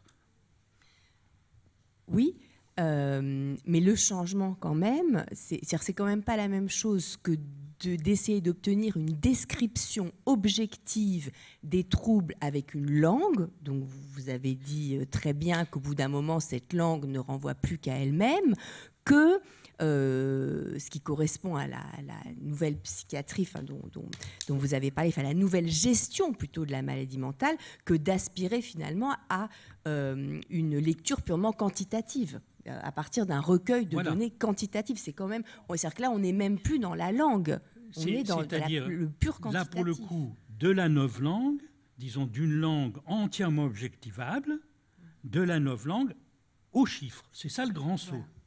en effet, ça, c'est un saut, en effet, qui décrit une, une nouvelle ère pour la psychiatrie. Voilà. Et c'est ça, c'est ça qui m'a qui m'a beaucoup intéressé. Et aussi, euh, il y a beaucoup de choses dans ce que vous avez présenté, mais notamment ce que vous avez dit à la fin sur. Euh, enfin, il y a quelque chose que je n'avais pas saisi euh, et que j'ai saisi là en vous écoutant, c'est-à-dire qu'effectivement, il y a un paradoxe dans la façon dont les sujets se saisissent d'un diagnostic qui finalement ne dit rien de singulier pour en faire cependant une narration qui va s'appuyer tout entière sur ce diagnostic, que ce soit effectivement un diagnostic d'autisme, un diagnostic de dépression, un diagnostic d'hyperactivité, mais pour en faire un récit qui, lui, réinjectera quelque chose de, du sujet qui ne, qui ne trouvait plus où se loger simplement dans cette nomination. Il faut quand même cette narration pour euh, euh, s'approprier ce, ce C'est là où je rejoins Mathieu Bellassène sur la pratique. C'est très différent si le sujet qui... D'accord, euh, je suis d'accord, je suis bipolaire, etc. Il y avait un très bon film américain qui a été traduit, je ne sais plus comment ça s'appelle, qui était sur un sujet bipolaire et euh, dans lequel le, metteur en scène, le fils du metteur en scène, celui qui avait rédigé le scénario, les trois étaient avec une étiquette de bipolaire. Et donc, euh, mettant en scène sur, un système hollywoodien, sur un classique, là, une certaine représentation du bipolaire comme idéal de vie. comme, et mettant en forme, s'étant emparé de cette question. Et au fond, c'est très différent s'il rencontre en face d'eux quelqu'un qui... Non, non, non, euh, vous êtes bipolaire comme tout le monde. C'est comme tout le monde. Hein. C'est strictement une entité, c'est fixe, c'est une essence, c'est descriptible, et vous êtes ça. Et c'est très différent de rencontrer quelqu'un sur lequel, bon, d'accord, vous êtes bipolaire, bon, on va discuter. Euh, qu'est-ce que ça veut dire pour vous? Que, Comment c'est Ah bon Et voilà. Et euh, c'est très différent euh, en effet, je, crois que tout ce qui vise à l'essentialisation euh, d'un sujet, euh, c'est très différent de rétablir une marge, une marge précisément de manœuvre de qu'on peut appeler jeu, conflictualité, ouverture, qui, tout ce qui, disons, permet de desserrer l'assignation en résidence. Et sur cette Google Health, cette euh, capture de, la santé mentale et de la, santé psychique par euh, le, big data. Euh, vous l'aviez dit, mais vous, enfin, vous l'aviez écrit, mais vous ne l'avez pas dit. Il y a quelque chose à la fois. Enfin, le paradoxe, c'est qu'à la fois, on en parle, c'est aussi la novlangue comme une médecine personnalisée alors que justement il s'agit finalement de dépersonnaliser totalement euh, l'approche de l'existence, puisqu'on l'approche purement quantitativement. Et ce que vous aviez écrit mais que vous n'avez pas dit, c'est qu'il y a aussi là quelque chose à propos du coach personnel, comme ça, de cette, présence constante de, ces, de, de ce self-quantify auquel on peut se référer, de ces données numériques auxquelles on peut se référer dans son existence pour savoir euh, si on va bien ou si on va mal, il y a quelque chose de l'ordre d'un nouveau surmoi euh, qui, euh, qui est pire que, euh, que le surmoi euh, au sens freudien, qui au moins parlait une langue, euh, au moins qu'on peut, on pouvait au moins discuter avec ce surmoi. Là, c'est un surmoi qui ne parle plus aucune langue, mais qui énonce une série de chiffres comme une série de nouvelles normes auxquelles il faut se soumettre. nous allons avoir une, disons, dans les champs d'exercice de la psychiatrie, une variante de ce qui est actuellement, on le voit, un affrontement entre les, les disons, les différents systèmes, les différents appareils d'État, voire même les organisations comme l'Europe, avec les géants du numérique. Euh, parce qu'ils sont en train de constituer des, banques, de données qui, effectivement, sont supérieures, euh, vont bientôt être supérieures aux banques de données dont disposent les États et faire des calculs. Ils rachètent des banques de données. Par exemple, ils ont racheté toutes les banques de données médicales de l'Islande, petit pays mais justement extrêmement bien encadré, donc très avec des dossiers extrêmement utilisables. Ils ont racheté tout ça. Alors, la France a des banques de données extraordinaires avec la sécurité sociale, des banques de données publiques. Mais pour en tirer, il va y avoir des contradictions. Et la médecine personnalisée, ça va donner lieu à des conflits majeurs. Euh, actuellement, les traitements personnalisés sur le cancer, qui euh, permettent, qui font des séquençages génétiques à la fois du, patient et les séquençages du virus euh, ou de, ce qui est la cause du, cancer, comment les, tumeurs sont modifiées, qui donnent des traitements, en effet, qui sont pour des toutes petites catégories de personnes. Ça vaut des, ça vaut des fortunes il y a de quoi ficher en l'air tout système de sécurité sociale. Et les négociations, euh, je sais que par exemple en France, il, faut euh, souligner combien euh, l'organisation de la sécurité sociale et surtout l'organisation par exemple des cancérologues français a réussi à se battre pour que le prix des traitements des cancers soit compatible, reste compatible avec la sécurité sociale, ce qui n'est pas le cas en Angleterre, où ils n'ont pas réussi ça. Et là, il faut bien dire, il y a là euh, le, système d'organisation qui a, française qui a, qui, a, répondu. Mais quand il y aura euh, de plus en plus de traitements de ce type euh, qui, justement, échappent à des organisations collectives, l'arbitrage de ça va donner lieu à des, affrontements plus compliqués encore que ceux qui se passent actuellement avec Big Pharma et, la Sécu. Bon, alors, est-ce que dans la salle, est-ce qu'il y a des, remarques, des questions? Euh, Mathieu Bellassène, est-ce que vous voulez euh, dire quelque chose par rapport à bah, l'exposé d'Éric euh, Laurent ou par rapport aux échanges qu'on a eus jusqu'à présent, le temps que vous vous prépariez pour des questions? Bah, Oui, il y, a plein de choses à dire, mais ce qui est important aussi, c'est de voir comment sont institués des contre-pouvoirs en ce moment. C'est-à-dire les nouveautés. Par exemple, toutes les avancées dans le champ de la psychiatrie, au niveau des luttes et de, comment faire pour que les patients aient le plus de droits, c'est les psychiatrisés eux-mêmes qui l'ont eu. C'est euh, une association de psychiatrisés qui s'appelle le CRPA, qui a fait casser la loi de 90, qui a fait casser la loi de 2011 euh, euh, sur les hospitalisations sans consentement, et qui a permis d'introduire le juge des libertés, enfin de faire qu'il y ait du contre-pouvoir dans l'institution psychiatrique. Bon. Ça, c'est la première chose. C'est-à-dire que faut, faut, faut, faire attention, je pense, à, l'effet euh, rouleau compresseur qu'il y a devant, c'est vrai. Euh, c'est vrai qu'il y a un rouleau compresseur, mais il faut aussi être sensible voilà, à ce, que, ce qui émerge comme, comme nouvelle forme de lutte. Quoi. Par exemple, j'ai été frappé de voir bah, les, les, les, nouvelles formes entre, en psychiatrie entre euh, patients, soignants, familles, etc. C'est-à-dire qu'avant, chacun était dans son couloir, euh, enfin, dans son euh, silo, c'est ça, on dit ça, des logiques en silo, là, voilà. Maintenant, les gens se parlent chacun de leur observatoire, mais peuvent avoir une discussion commune et des combats communs sur quel type de psychiatrie on veut. Par exemple, nous, euh, dans le champ euh, institutionnel, on peut dire qu'il y, a eu la fonction truc. On a créé le truc, c'est le terrain de rassemblement pour l'utilité des clubs, où là, pour la première fois, des, collectifs de soins, patients, soignants, euh, citoyens, passants, se, réunissent régulièrement un peu partout en France. voilà, on organise des forums interclubs pour traiter le lien entre nous. On parle de quelle est la psychiatrie qu'on veut, qu'on voudrait, etc. Et donc les gens là-dessus ont, commencé à se mobiliser, à prendre la parole, des gens qui auparavant ne prenaient pas la parole. C'est-à-dire que le tissu narratif là dont vous parlez, il s'effectue aussi sur un fond où on traite la question collective. Par exemple, à la manifestation euh, du printemps de la psychiatrie en janvier dernier sur la place de la République, il neigeait. Eh ben, sur le camion de prise de parole, il y, avait, euh, des, il y avait des personnes qui étaient psychiatrisées, il y avait euh, des, familles, il y avait des professionnels, toutes catégories professionnelles confondues. C'est-à-dire que là où auparavant, finalement, c'était les hiérarques des institutions qui parlaient, que ce soit les psychiatres.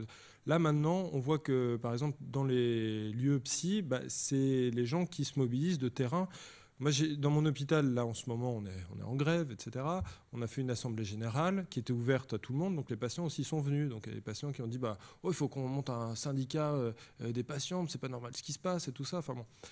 Et du coup, ça, le fait qu'ils puissent parler comme ça dans ce dispositif, ça change aussi la façon dont on se parle les uns les autres, et dont on se parle entre nous aussi.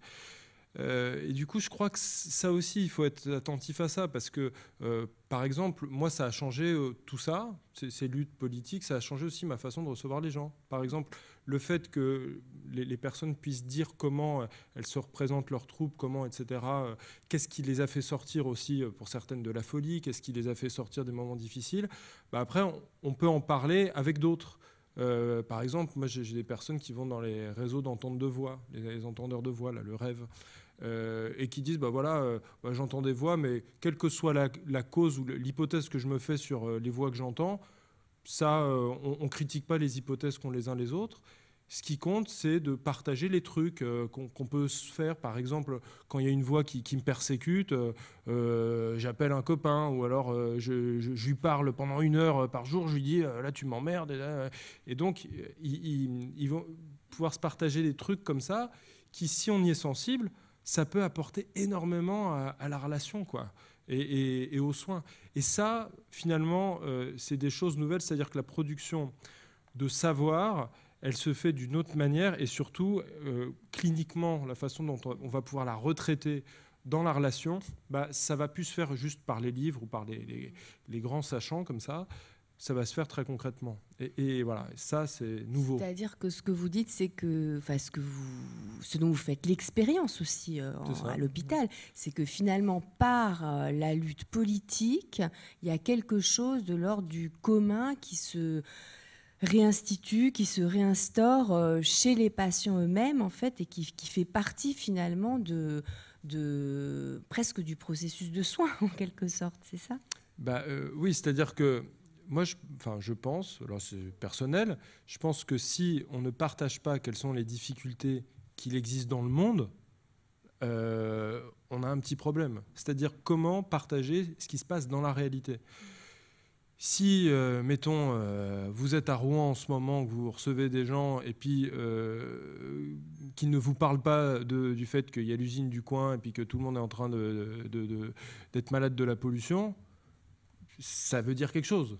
Bon, donc il faut parler de la réalité. C'est-à-dire, les gens aussi, quand ils, parlent de je suis déprimé, je suis ceci, comme ça, si vous parlez pas avec eux de c'est quoi leur réalité dans leur vie, c'est comment ça se passe au travail, comment ça se passe dans leur famille, vous loupez quelque chose. Et je crois qu'il il faut vraiment... Euh, euh, la réalité est tellement dure en ce moment, mais tellement percutante, on peut dire, qu'il faut la traiter. C'est-à-dire que nos espaces, et ça, moi, je pense, nos espaces euh, collectifs de soins, là, bon, bah, dans un espace de soins, ils doivent mettre en question, en tant que fragment de la société, la société elle-même. Et pour voir comment, moi c'est pour ça que j'ai aussi pris une responsabilité à, l'hôpital public, c'est-à-dire que je suis euh, dans un lieu où je peux voir quelles sont les évolutions, les involutions de la démocratie. Par exemple, quand il y a eu l'état d'urgence, bah, il y a eu un état d'urgence à l'hôpital. C'est-à-dire que les directions ont commencé à, balancer euh, des choses sans discussion, etc. Donc on, est contaminé par comment se, passe euh, la politique euh, politicienne, on peut dire, dans nos institutions. Pour autant aussi, on est un laboratoire de comment peut se tricoter la démocratie autrement. alors ça, ça m'intéresse, parce que du coup, si elle peut se tricoter autrement localement, peut-être ça peut nous donner des pistes aussi sur comment on institue autrement la démocratie sur une échelle plus large. Et, du coup, voilà, il y a, toutes ces strates-là euh, qui, auxquelles, bon, à la fois, il faut être sensible, mais il faut être dedans. C'est-à-dire que tenir des discours euh, juste à l'extérieur, ça empêche aussi de voir qu'est-ce qui, dans la confrontation avec euh, le réel de la pratique, bah, fait émergence et, nous change, nous transforme. Éric Laurent, vous voulez dire quelque chose? Oui, là, je, vois, enfin, Mathieu Lassène très bien entendre ce que c'est que la, faire entrer tout ça dans le grand récit à la française, si je puis dire. Le récit collectif, euh, le syndicat, les luttes politiques, etc. Euh, on ne voit pas dans un hôpital anglais, euh, ça ne ça serait pas du tout comme ça que ça rentre dans un récit, disons, dans une narration possible. La narration française passe par là. Et c'est ça qui fait notre euh, notre histoire, la, tradition française, et qui permet effectivement de, faire rentrer des gens dans une narration commune, etc. Ce qui ne passerait pas comme ça, et euh, donc euh, ça passe autrement. aux États-Unis, où on a à la fois, le, disons, où tout passe, le collectif passe par le communautarisme, d'un côté, et de l'autre côté, le rapport à la machine. Car l'Amérique, c'est un discours centré sur l'avenir. L'Amérique n'a pas de passé. Euh, tout ce qui, enfin, le, passé, c'est uniquement la Constitution, les pères fondateurs, et, etc. C'est tout. Et pour le reste, c'est quel est euh, l'avenir qui nous attend, quelles sont les opportunités. C'est un, c'est vraiment engrené dans la machine, euh, dans la machine du discours américain et repris et qui permet de, effectivement de collectiviser, de faire parler, d'entraîner, de, etc. Euh, et en effet, dans chaque, euh, dans chaque euh, tradition culturelle, on peut avoir ces, ces, facteurs qui d'ailleurs contribuent à la question du diagnostic. par exemple, le, le diagnostic étrange de, au Japon des, des, adolescents enfermés. Kishikomori. Euh, c'est évidemment, en France, euh, bien sûr, il y a des enfants euh, qui commencent, commencent, à en avoir plus, de plus en plus avec les exigences de plus en plus fortes qui leur sont attribuées. Mais enfin, ce n'est rien par rapport au Japon, car la pression sociale japonaise est, très extrêmement particulière. Et donc, quand vous commencez à ne plus pouvoir supporter, eh ben, on s'enferme. Et ça, c'est une tradition. Ça, ça, commence bien avant le XXe siècle et euh, l'enfermer, le retirer, et, ça donne lieu à un diagnostic où, bien entendu, tout le monde n'est pas schizophrène. Euh, parce qu'il y en a beaucoup plus, il y en a beaucoup trop. Pour, euh, alors là, ça poserait vraiment des problèmes du point de vue même des statistiques scientifiques.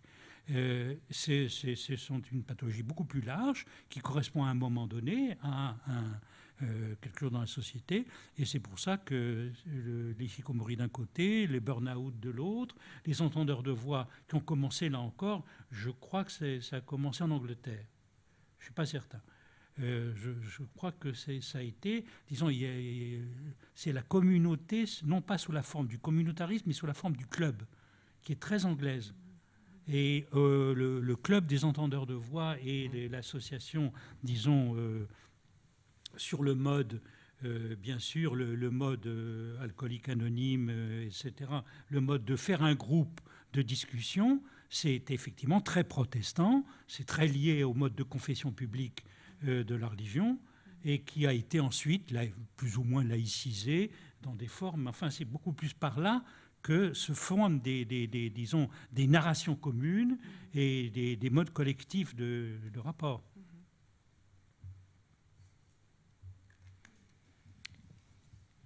Oui, alors, qu'est-ce qui a envie de poser une question à Éric Laurent ou à Mathieu Bellassène ou de faire une remarque On les a assommés. Ils sont morts. Non, ça va venir. Attends, je vois leur monde connecté là. Ah, il dort. Oui? Attendez, je vous passe le micro. Il y a un micro. Donc, Bonsoir. Donc, vous qui êtes praticien à l'hôpital public, chef de service, me semble-t-il, en psychiatrie, vous n'avez tout de même pas l'idée qu'il y a une sourdité entre l'administration de l'hôpital et les praticiens et qui gagnent de plus en plus du terrain et qui impacte de plus en plus le travail, les prises en charge qu'on peut proposer aux, patients, parce que euh, c'est très tentant, euh, l'espoir démocratique, mais j'ai vraiment l'impression qu'il est de plus en plus absente euh, à l'hôpital public, euh, tout particulièrement. Je ne sais pas ce que vous en pensez, ou quelle est la façon dont vous, en tant que médecin, vous dialoguez avec l'administration de l'hôpital où vous travaillez? Je, souscris complètement à votre constat. Hein. Peut-être que vous pouvez dire, Béatrice, que vous travaillez vous-même à l'hôpital public oui, moi, je suis comme psychologue. psychologue. Ouais. Euh, je souscris au constat, mais justement, la question, c'est comment à la fois je peux instituer avec euh, mes collègues euh, des marges de manœuvre. Alors d'ailleurs, ce qui est intéressant en ce moment, c'est qu'à l'hôpital, les patients sont plus entendus que les soignants. Alors c'est intéressant. Nous, on fait des réunions soignants-soignés toutes les semaines, par exemple, sur l'unité d'hospitalisation. Il y a des pétitions tout le temps, machin, on se plaint et compagnie, on signe ensemble. Et du coup, quand les pétitions arrivent à la commission des usagers, bah, là, euh, les, directions des hôpitaux se disent oh, mince, il faut, comme c'est des documents publics, il faut qu'on réponde, etc. Donc il faut voir là où il y a des contre-pouvoirs possibles. Bon. Ceci dit, euh, bien entendu, euh, la, gaine financière, alors en plus qui ne va pas s'améliorer avec la réforme que nous promet le plan de loi de financement de la sécurité sociale, à savoir que maintenant on va être financé en fonction des indicateurs qualité, c'est-à-dire que si on remplit bien les indicateurs qualité, on a le budget, sinon on ne l'a pas. Ben, moi, euh, dans mon hosto, ben voilà, là en ce moment, les médecins, les non-médecins et les patients, on, fait un mouvement de grève.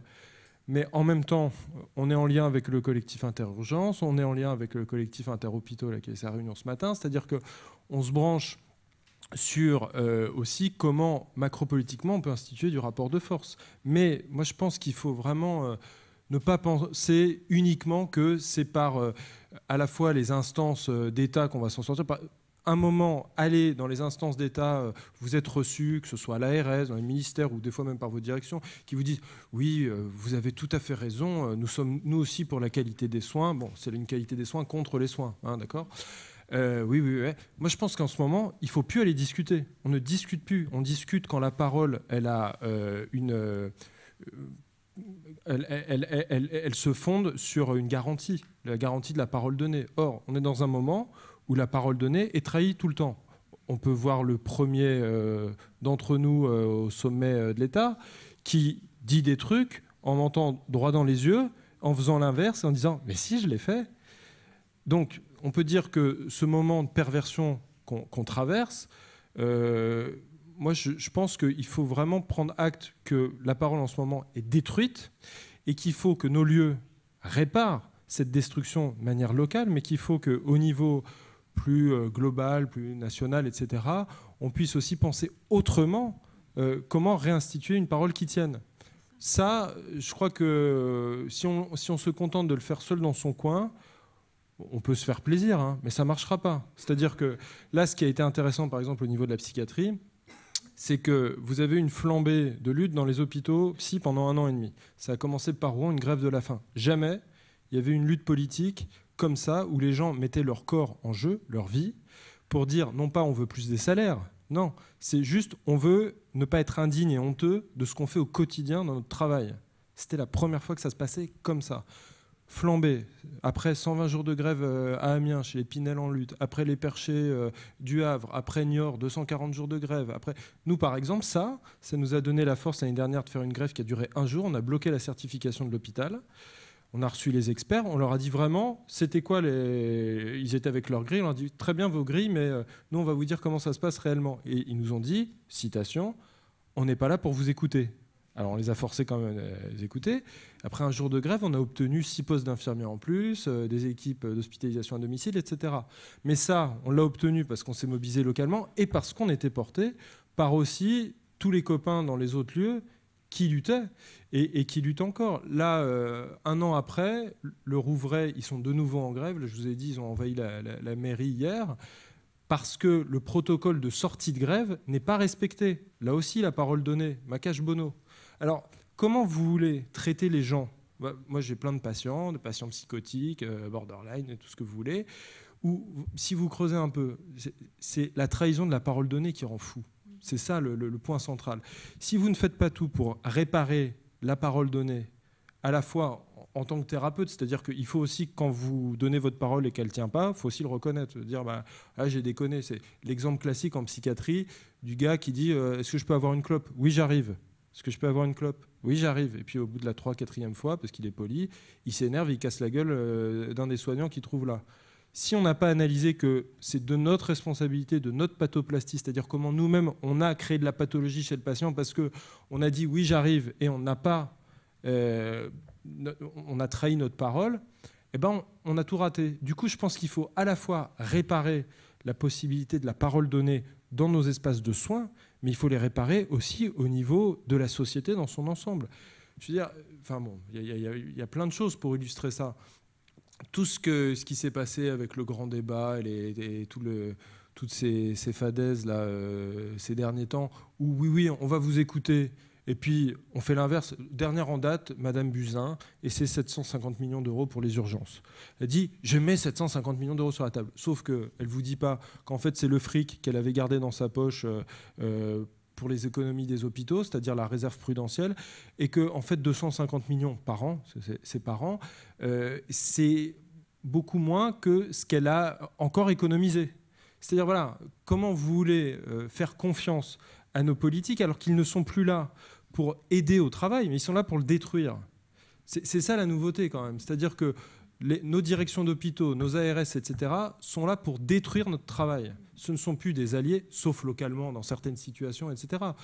Mais du coup, comment vous faites pour ne pas laisser faire ça?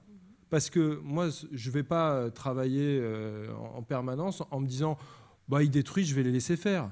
Alors, je ne suis pas tout puissant, donc euh, si je ne me mets pas avec d'autres et si on ne se relie pas comme ça, ça ne marchera pas. C'est-à-dire que si je mets la lutte juste dans mon hosto, l'ARS, ils vont peut-être nous dire ah oui, oui, vous êtes, bien gentil, on vous donne 2-3 miettes, qui vont retirer euh, l'année d'après parce qu'ils ne se seront pas engagés. Et puis euh, voilà, on continue. Là, si vous voulez, par exemple, le 14 novembre, il va y avoir une grande, euh, grande mobilisation là, de la santé. Bah, on va y être, c'est-à-dire plus de pour plus de moyens, d'accord, plus, plus d'effectifs, d'accord, pour arrêter de fermer les lits, d'accord, pour des revalorisations salariales, comme on dit, le collectif interurgence, d'accord. Mais après, la question, si on a plus de moyens, plus si on gagne cette lutte, la question c'est pour quelle psychiatrie on veut. Si c'est pour faire la psychiatrie fondamentaliste, euh, débile, et avoir plus de monde connecté et pas d'humains, non. C'est-à-dire que là, il va falloir parler sérieusement. Voyez? C'est-à-dire qu'il faut, il faut, bon, en tout cas, on essaye de, de, de créer du contre-pouvoir dans une société. Moi, je prends souvent cette, euh, cette image, c'est-à-dire que finalement, on peut dire qu'en 20-30 ans, on est passé d'une logique un peu pyramidale où il y avait des contre-pouvoirs à peu près à chaque échelon de la, de la pyramide, quoi, à des logiques en tour de la défense, là, les, belles tours qu'on voit à la défense, là, toute droite comme ça, où finalement, il n'y a plus de contre-pouvoir. C'est-à-dire que euh, l'ordre d'en haut, c'est-à-dire euh, pris en Conseil des ministres le mercredi, il arrive directement au directeur de l'ARS et, et, au directeur de l'hôpital et au chef de pôle et machin. Mais on n'est pas obligé de dire oui tout le temps. Hein. Et on peut même dire non. Et même on peut dire non en s'appuyant sur les autres. Et je pense qu'il ne faut pas non plus rester cantonné à la psychiatrie. Par exemple, moi, là, on est en lien avec euh, le collectif Interurgence, avec euh, le collectif Interhôpitaux, avec ceci. Enfin bon. Voilà. Et puis, euh, voilà. il faut aussi que nos espaces soient des espaces qui créent le lien lui-même. C'est-à-dire qu'il ne faut pas juste que ce soit des, espaces de revendication politique, etc. Non, il faut que ce soit des espaces qui traitent le lien humain. C'est-à-dire que si vous faites une assemblée générale, par exemple, avec des gens et que vous leur laissez pas le temps de parler entre eux, d'avoir des espaces intermédiaires où ils peuvent se croiser, etc., bah vous soignez pas aussi ce qui est attaqué en ce moment dans la société, c'est-à-dire le lien social. Quoi. Donc il faut que nos espaces pensent et fassent tout ça en même temps. C'est ça le problème, mais en même temps, c'est ça qui est génial. C'est-à-dire que euh, par contre, il ne faut pas être seul. Hein. C'est-à-dire qu'il faut être euh, en nombre. Quoi. Euh, nous, par exemple, dans le service, bah, on, se regroupe. C'est-à-dire qu'on a un certain nombre à, voilà, à penser, à, avoir des pratiques voilà, sur la question de l'instituant, sur la question de comment les gens vont pouvoir avoir la parole, comment ils vont pouvoir nous contredire, nous critiquer, comment on va laisser la place à ça. Vous voyez bon, mais voilà, il faut se regrouper. Alors, d'autres questions? Attendez, il y a un micro. Le, micro. Il y a un micro et vous allez pouvoir euh, poser votre question.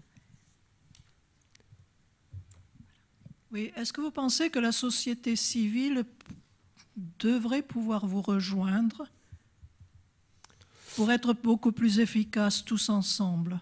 Bah, on, espère bien. Alors là, peut-être que, que ce qu'on va faire le 14 novembre, on verra.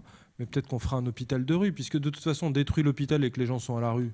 Bah, allons directement à la rue, faisons des consultations, des groupes et des machins directement dans la rue. Donc, euh, avis à la population, là que vous êtes, euh, si on fait une occupation de lieu, il bah, faudra venir. Quoi. Bon.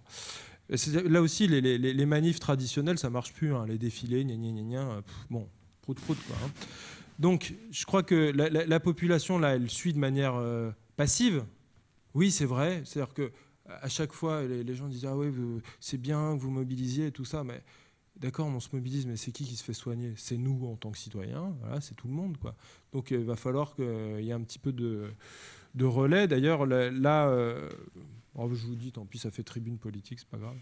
Le 29 octobre, il y a la navette du plan de loi de financement de la sécurité sociale qui, va encore proposer, pour euh, rationaliser les choses, des économies, des économies, toujours des économies. Et donc, euh, il va y avoir une, une, mobilisation un peu médiatique. Et l'idée, quand même, c'est aller voir vos députés pour qu'ils s'engagent à dire ce qu'ils vont voter. Est-ce qu'ils vont voter pour la destruction de la santé publique ou est-ce qu'ils vont voter euh, contre? Parce qu'après, ça pourrait avoir des enjeux pour les municipales. Ça peut être intéressant de savoir qu'ils ont voté pour la destruction de leur hôpital dans leur coin. Enfin, je crois que là, en tant que citoyen, il faut mobiliser le politique représentatif, on peut dire, mais il ne faut pas se limiter à ça, parce que la représentation, là, en ce moment, euh, bon, ça suffit pas. Alors, une autre question? Bonsoir. Et euh, oui, une question pour euh, Monsieur Eric Laurent concernant euh, ce que vous aviez évoqué par rapport à zéro sans solution. Moi, je travaille dans le secteur médico-social et depuis pas très longtemps. Et c'est quelque chose qui, moi, ça m'interpelle énormément, qui me questionne cette espèce de paradigme dans lequel euh, les enfants, les jeunes vont être euh, euh, pris de façon globale et, et on envisage qu'il y ait des solutions partout, dans tous les espaces. Et c'est très paradoxal et éthiquement, moi, ça me pose beaucoup de questions. Ben, c'est bien, parce qu'en effet, c'est c'est intitulé euh, Zéro euh, non-solution euh, est tout à fait symptomatique de la langue de l'époque. Le fameux on chiffre, zéro, et on met en place le paradigme, tout problème doit trouver sa solution. Jean-Claude, le philosophe Jean-Claude Milner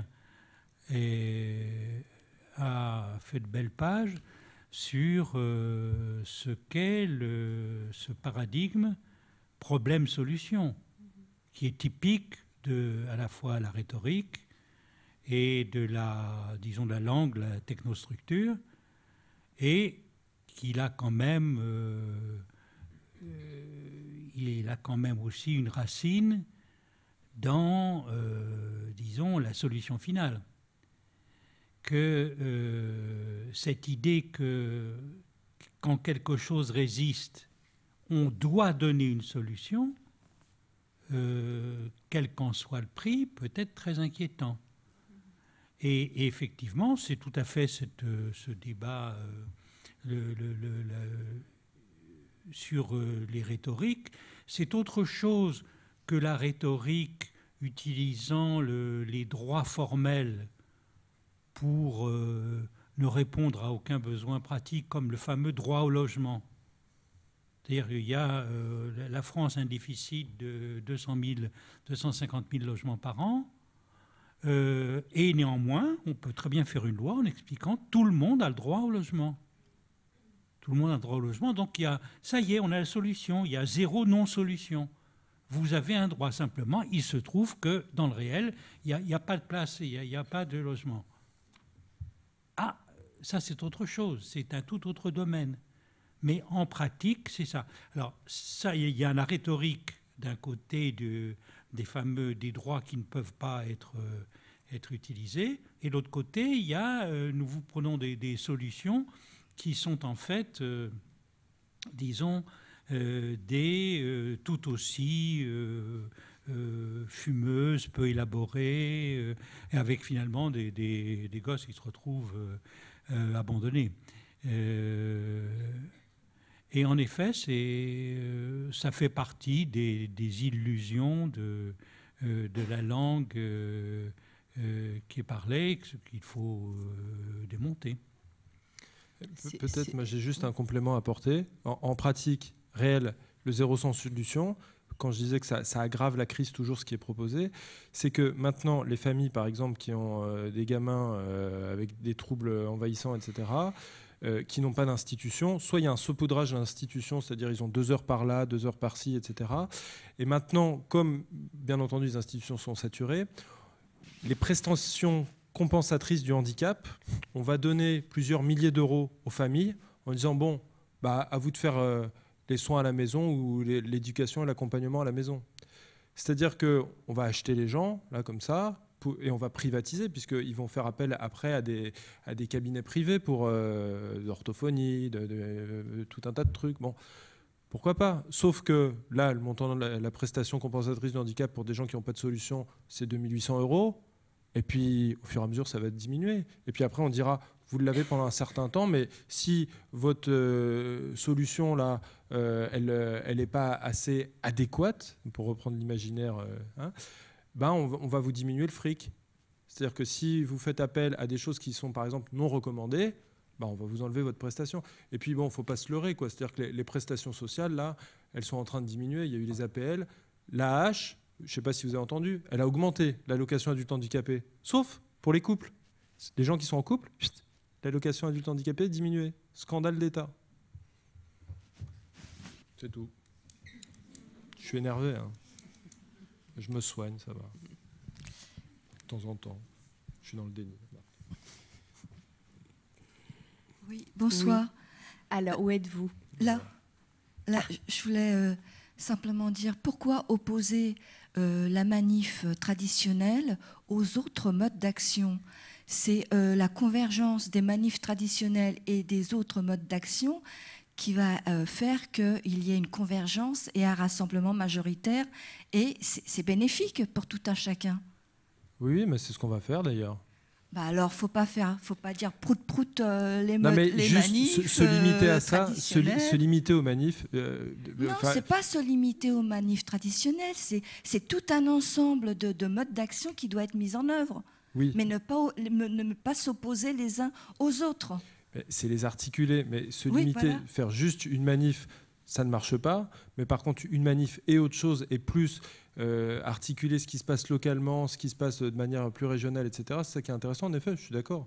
C'est juste, il ne faut pas euh, rester dans l'imaginaire d'il y a 30 ans, quoi. Juste, faire autre chose. Oui. Ça, c'est juste, il y, il y, a des changements de régime imaginaire y compris dans la protestation. Et incontestablement, d'ailleurs c'est pour ça qu'il y a une histoire des manifestations, euh, c'est très différent la manifestation du 19e siècle, euh, très différente de la manifestation de l'après-guerre, très différente de, des manifestations avant ou après, euh, disons, le, moment où le Parti communiste français a été inclus dans le, disons, dans le discours politique général, avant, après, etc., ça a été très différent. Et incontestablement, il y a une. C'est vrai, il ne faut pas sans doute opposer, mais il faut sûrement euh, avoir l'idée qu'il y a une usure de l'imaginaire protestataire. Euh, il faut inventer les choses. Et effectivement, de même que les premiers qui sont réunis pour faire le premier club euh, des entendeurs de voix, c'était un truc formidable. Euh, ça, déconstruisait euh, le, savoir de les hallucinations, c'est ci c'est ça, etc. Il y a toutes, en effet, les hallucinations, il y a toute une clinique extrêmement variée qui va effectivement des plus mortelles euh, quand elles vous disent vous tuer avec un impératif. Et là, on ne peut pas faire d'association d'entendeurs de voix, mais que par contre, il y a des, dialogues stabilisés, plus ou moins, etc. Et là, au contraire, il faut le faire. C'est le tact, euh, c'est le, tact clinique, et qui renouvelle tout cet imaginaire, cet imaginaire collectif avec lequel s'abordent les phénomènes de, disons, de, de, la clinique aussi bien du côté euh, clinique que du côté protestataire. Euh, et l'utilisation, c'est frappant, euh, vous disiez, Internet peut être un espace de conflictualité. ça peut être aussi, comme on dit, l'Internet fabrique des chambres d'écho, c'est-à-dire des gens qui ne s'écoutent qu'eux-mêmes. Ça rassemble des amis, des gens qui pensent pareil. ça fait des communautés qui sont complètement fermées à d'autres. Alors oui, d'accord, c'est un moment. Ce qui est ennuyeux, c'est que quand ça fabrique des, communautés qui ne pensent qu'à d'autres, spécialement, spécialement euh, du côté de l'extrême droite. Et euh, à dire peu de monde peut se mettre dans des chambres d'écho qui, qui tournent et ça donne des, ça donne des résultats euh, qui sont catastrophiques. Mais il faut dire à la fois faire des communautés là-dessus sûrement, mais en même temps ne pas renoncer à la place publique ne pas renoncer à l'agora publique, qui consiste justement à mettre sur, le même, sur la même agora, faire que se parle euh, dans le système euh, dans, une démocratie, que se parle des communautés qui se ferment. Et euh, dans la crise des démocraties contemporaines, on a en effet de plus en plus le sentiment de, difficile que, des communautés se, puissent continuer à se parler. Ce n'est pas facile en effet, euh, et on n'est pas trop de la manif traditionnelle, de la manif non traditionnelle, atypique, des, inventions du collectif de ceci, etc. C'est pas trop pour essayer d'inconstruire, de faire déconstruire ces murs d'opposition dans lesquels on constate, euh, on voit en Angleterre avec le Brexit, on voit aux États-Unis avec Trump, on voit en France avec euh, ce que nous traversons, combien les pays sont divisés à 50-50 et qu'il euh, y a une petite atmosphère, euh, la petite atmosphère de guerre civile, qui euh, rampe dans les pays avec populisme. enfin, je veux dire, toutes les démocraties connaissent leur forme de populisme, qui est le, dernier rempart, finalement, avant les, mécanismes de guerre civile. c'est, en effet, on a vraiment besoin, certainement, d'inventer des formes possibles de, euh, de ce qui permet qu'une parole continue à circuler. Euh, c'est un phénomène qui se grippe, et pas seulement en France. C'est la crise des démocraties occidentales en général. Et, on voit avec le surgissement des modèles autoritaires considérés comme une issue. Euh, alors, ce n'est pas les années 30, c'est d'autres modèles autoritaires, mais certainement le, le c'est une question qui euh, nous traverse euh, et qui est certainement d'urgence. Donc euh, l'invention dans des collectifs qui permettent de, de, renouveler la façon dont on essaye d'émouvoir l'autre, c'est sûrement très important. Oui. Isabelle, il y a quelqu'un? Il y a une dernière question, oui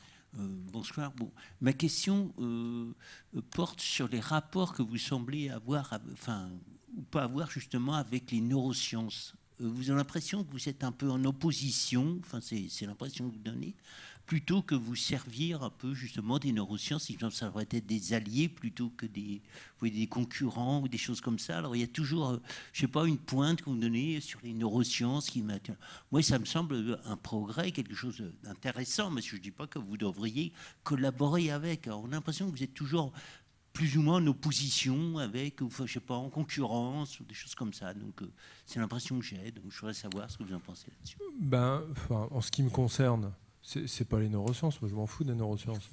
C'est la question de l'hégémonie. En fait, tout comme il y a eu, on parlait de l'hégémonie euh, là des neurosciences, mais l'hégémonie de la psychanalyse, par exemple aussi, ça a pu être un problème. C'est-à-dire, moi, ce qui me pose souci, c'est quand euh, il y a des positions de pouvoir qui s'organise à partir d'une hégémonie. Là, en ce moment, le cerveau est devenu un objet politique. C'est en ça que ça me pose problème. Ce n'est pas les recherches en neurosciences. Je vous dis, je m'en fous.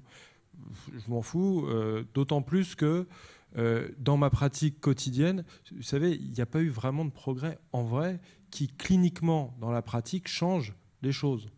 Les histoires qu'on nous, nous entend, remédiation cognitive, etc., Euh, alors ça, euh, l'État fait que nous parler de, des formidables euh, nouveautés de la remédiation cognitive. Sauf qu'il faut que les personnes soient stabilisées, qu'elles prennent bien leur traitement, et c'est pour six mois, d'accord? Bon, et au bout de six mois, qu'est-ce qu'on fait? Et quand elles ne sont pas stabilisées, qu'elles ne prennent pas bien leur traitement, qu'est-ce qu'on fait?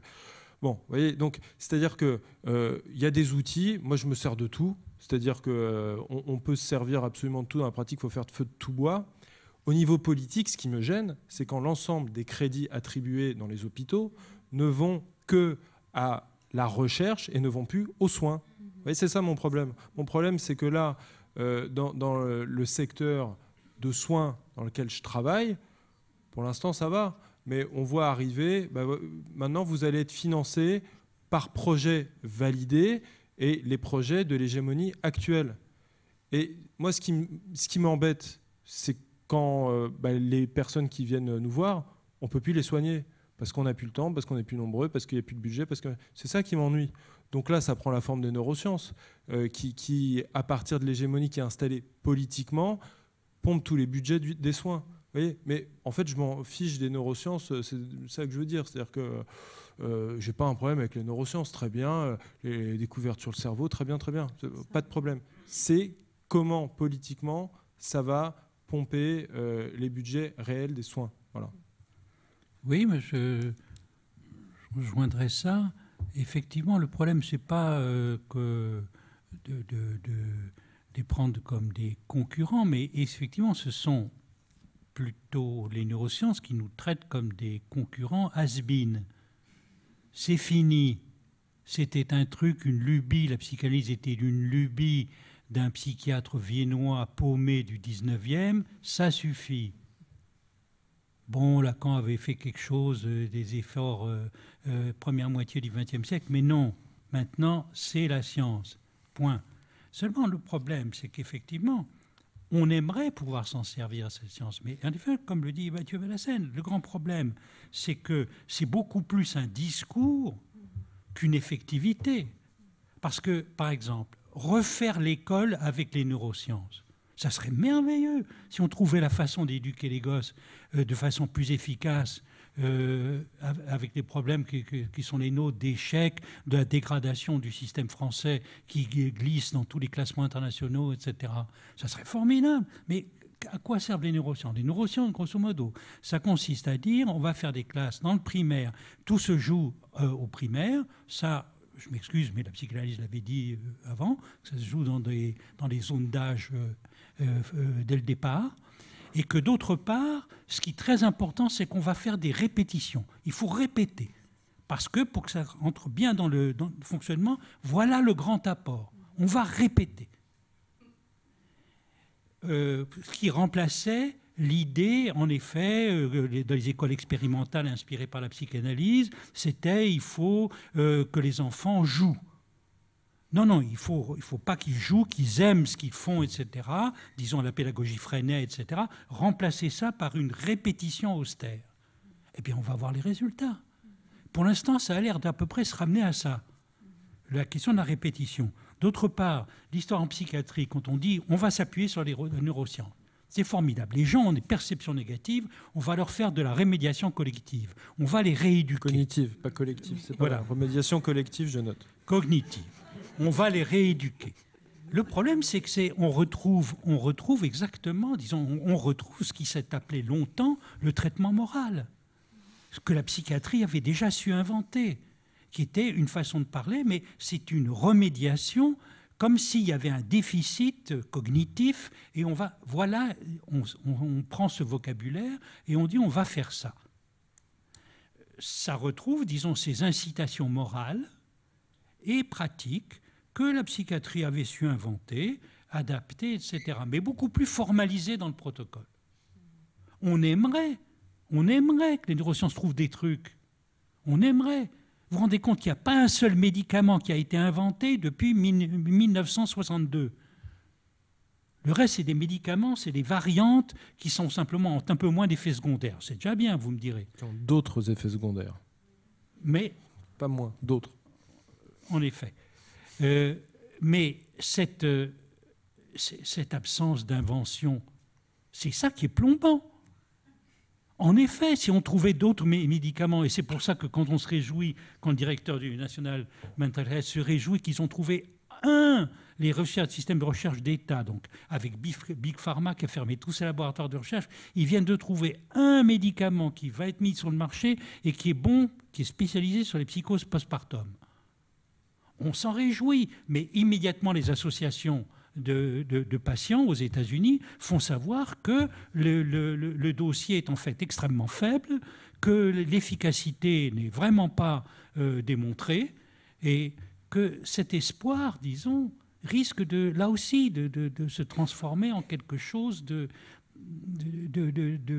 fuligineux. Et si vous voulez, beaucoup plus que l'adversaire, disons. L'espoir, c'est formidable, mais l'espoir, ça peut amener après, s'il n'est pas réalisé, ça, peut amener à cette idée de la parole trahie, comme disait Mathieu Lassen. C'est euh, si vous faites des faux espoirs au nom d'une science salvatrice, vous fabriquez une haine de la science et vous vous retrouvez avec des gens qui ne veulent plus être vaccinés. Parce que ça, je ne sais pas si la remédiation cognitive, j'en doute, mais la vaccination, par contre, je suis pour. Et, que ça, sert, ça évite des épidémies. Eh bien non, on se retrouve maintenant avec des gens pour qui, non, pour des raisons extrêmement bizarres, la rationalité des, euh, a du mal à passer, à convaincre. Et c'est donc ces effets, disons, de, de coups de fouet en retour sur des espoirs de la science déçue qui sont préoccupants. Euh, et qu'au fond, disons, en étant disons, critique à l'égard de ce qui paraît de faux espoirs, c'est aussi préserver l'avenir et préserver, éviter des coups de frein en retour sur euh, la dimension de la rationalité, qui euh, se trouve euh, spécialement interrogé de nos jours. Oui, peut-être qu'on peut dire pour terminer quand même que le point commun entre la psychiatrie et l'éducation nationale, puisque Mathieu Bellassène rappelait que finalement les neurosciences sont un modèle, un discours et, euh, un modèle invoqué aussi bien pour euh, les politiques en matière d'éducation nationale qu'en matière de santé mentale, c'est que dans les deux cas, il s'agit de faire appel à une discipline scientifique qui n'est absolument pas fondée sur la question de la parole, de la rencontre et de la transmission. Donc les neurosciences nous, n'avons rien contre les neurosciences qui étudient le cerveau. Au contraire, c'est absolument passionnant.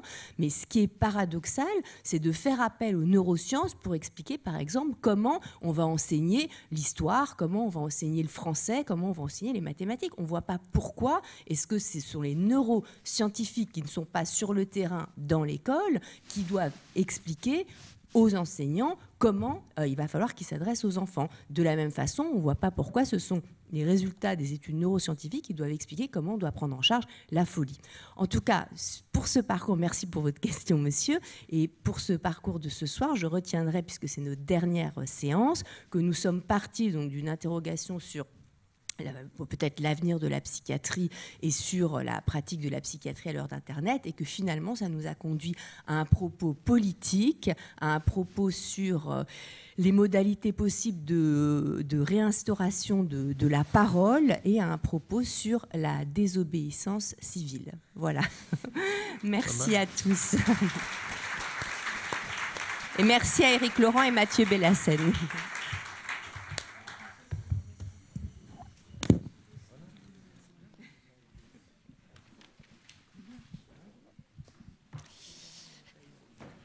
Et je vous rappelle que donc la programmation de la bibliothèque publique d'information est très euh, variée, très diverse. Lundi prochain, ici à 19h, il y aura une euh, soirée, ma thèse en 5 minutes, avec euh, une dizaine dix doctorants ou, jeunes docteurs qui vont en 5 minutes expliquer leur, sujet de recherche et dans plein de domaines différents. Voilà. Merci.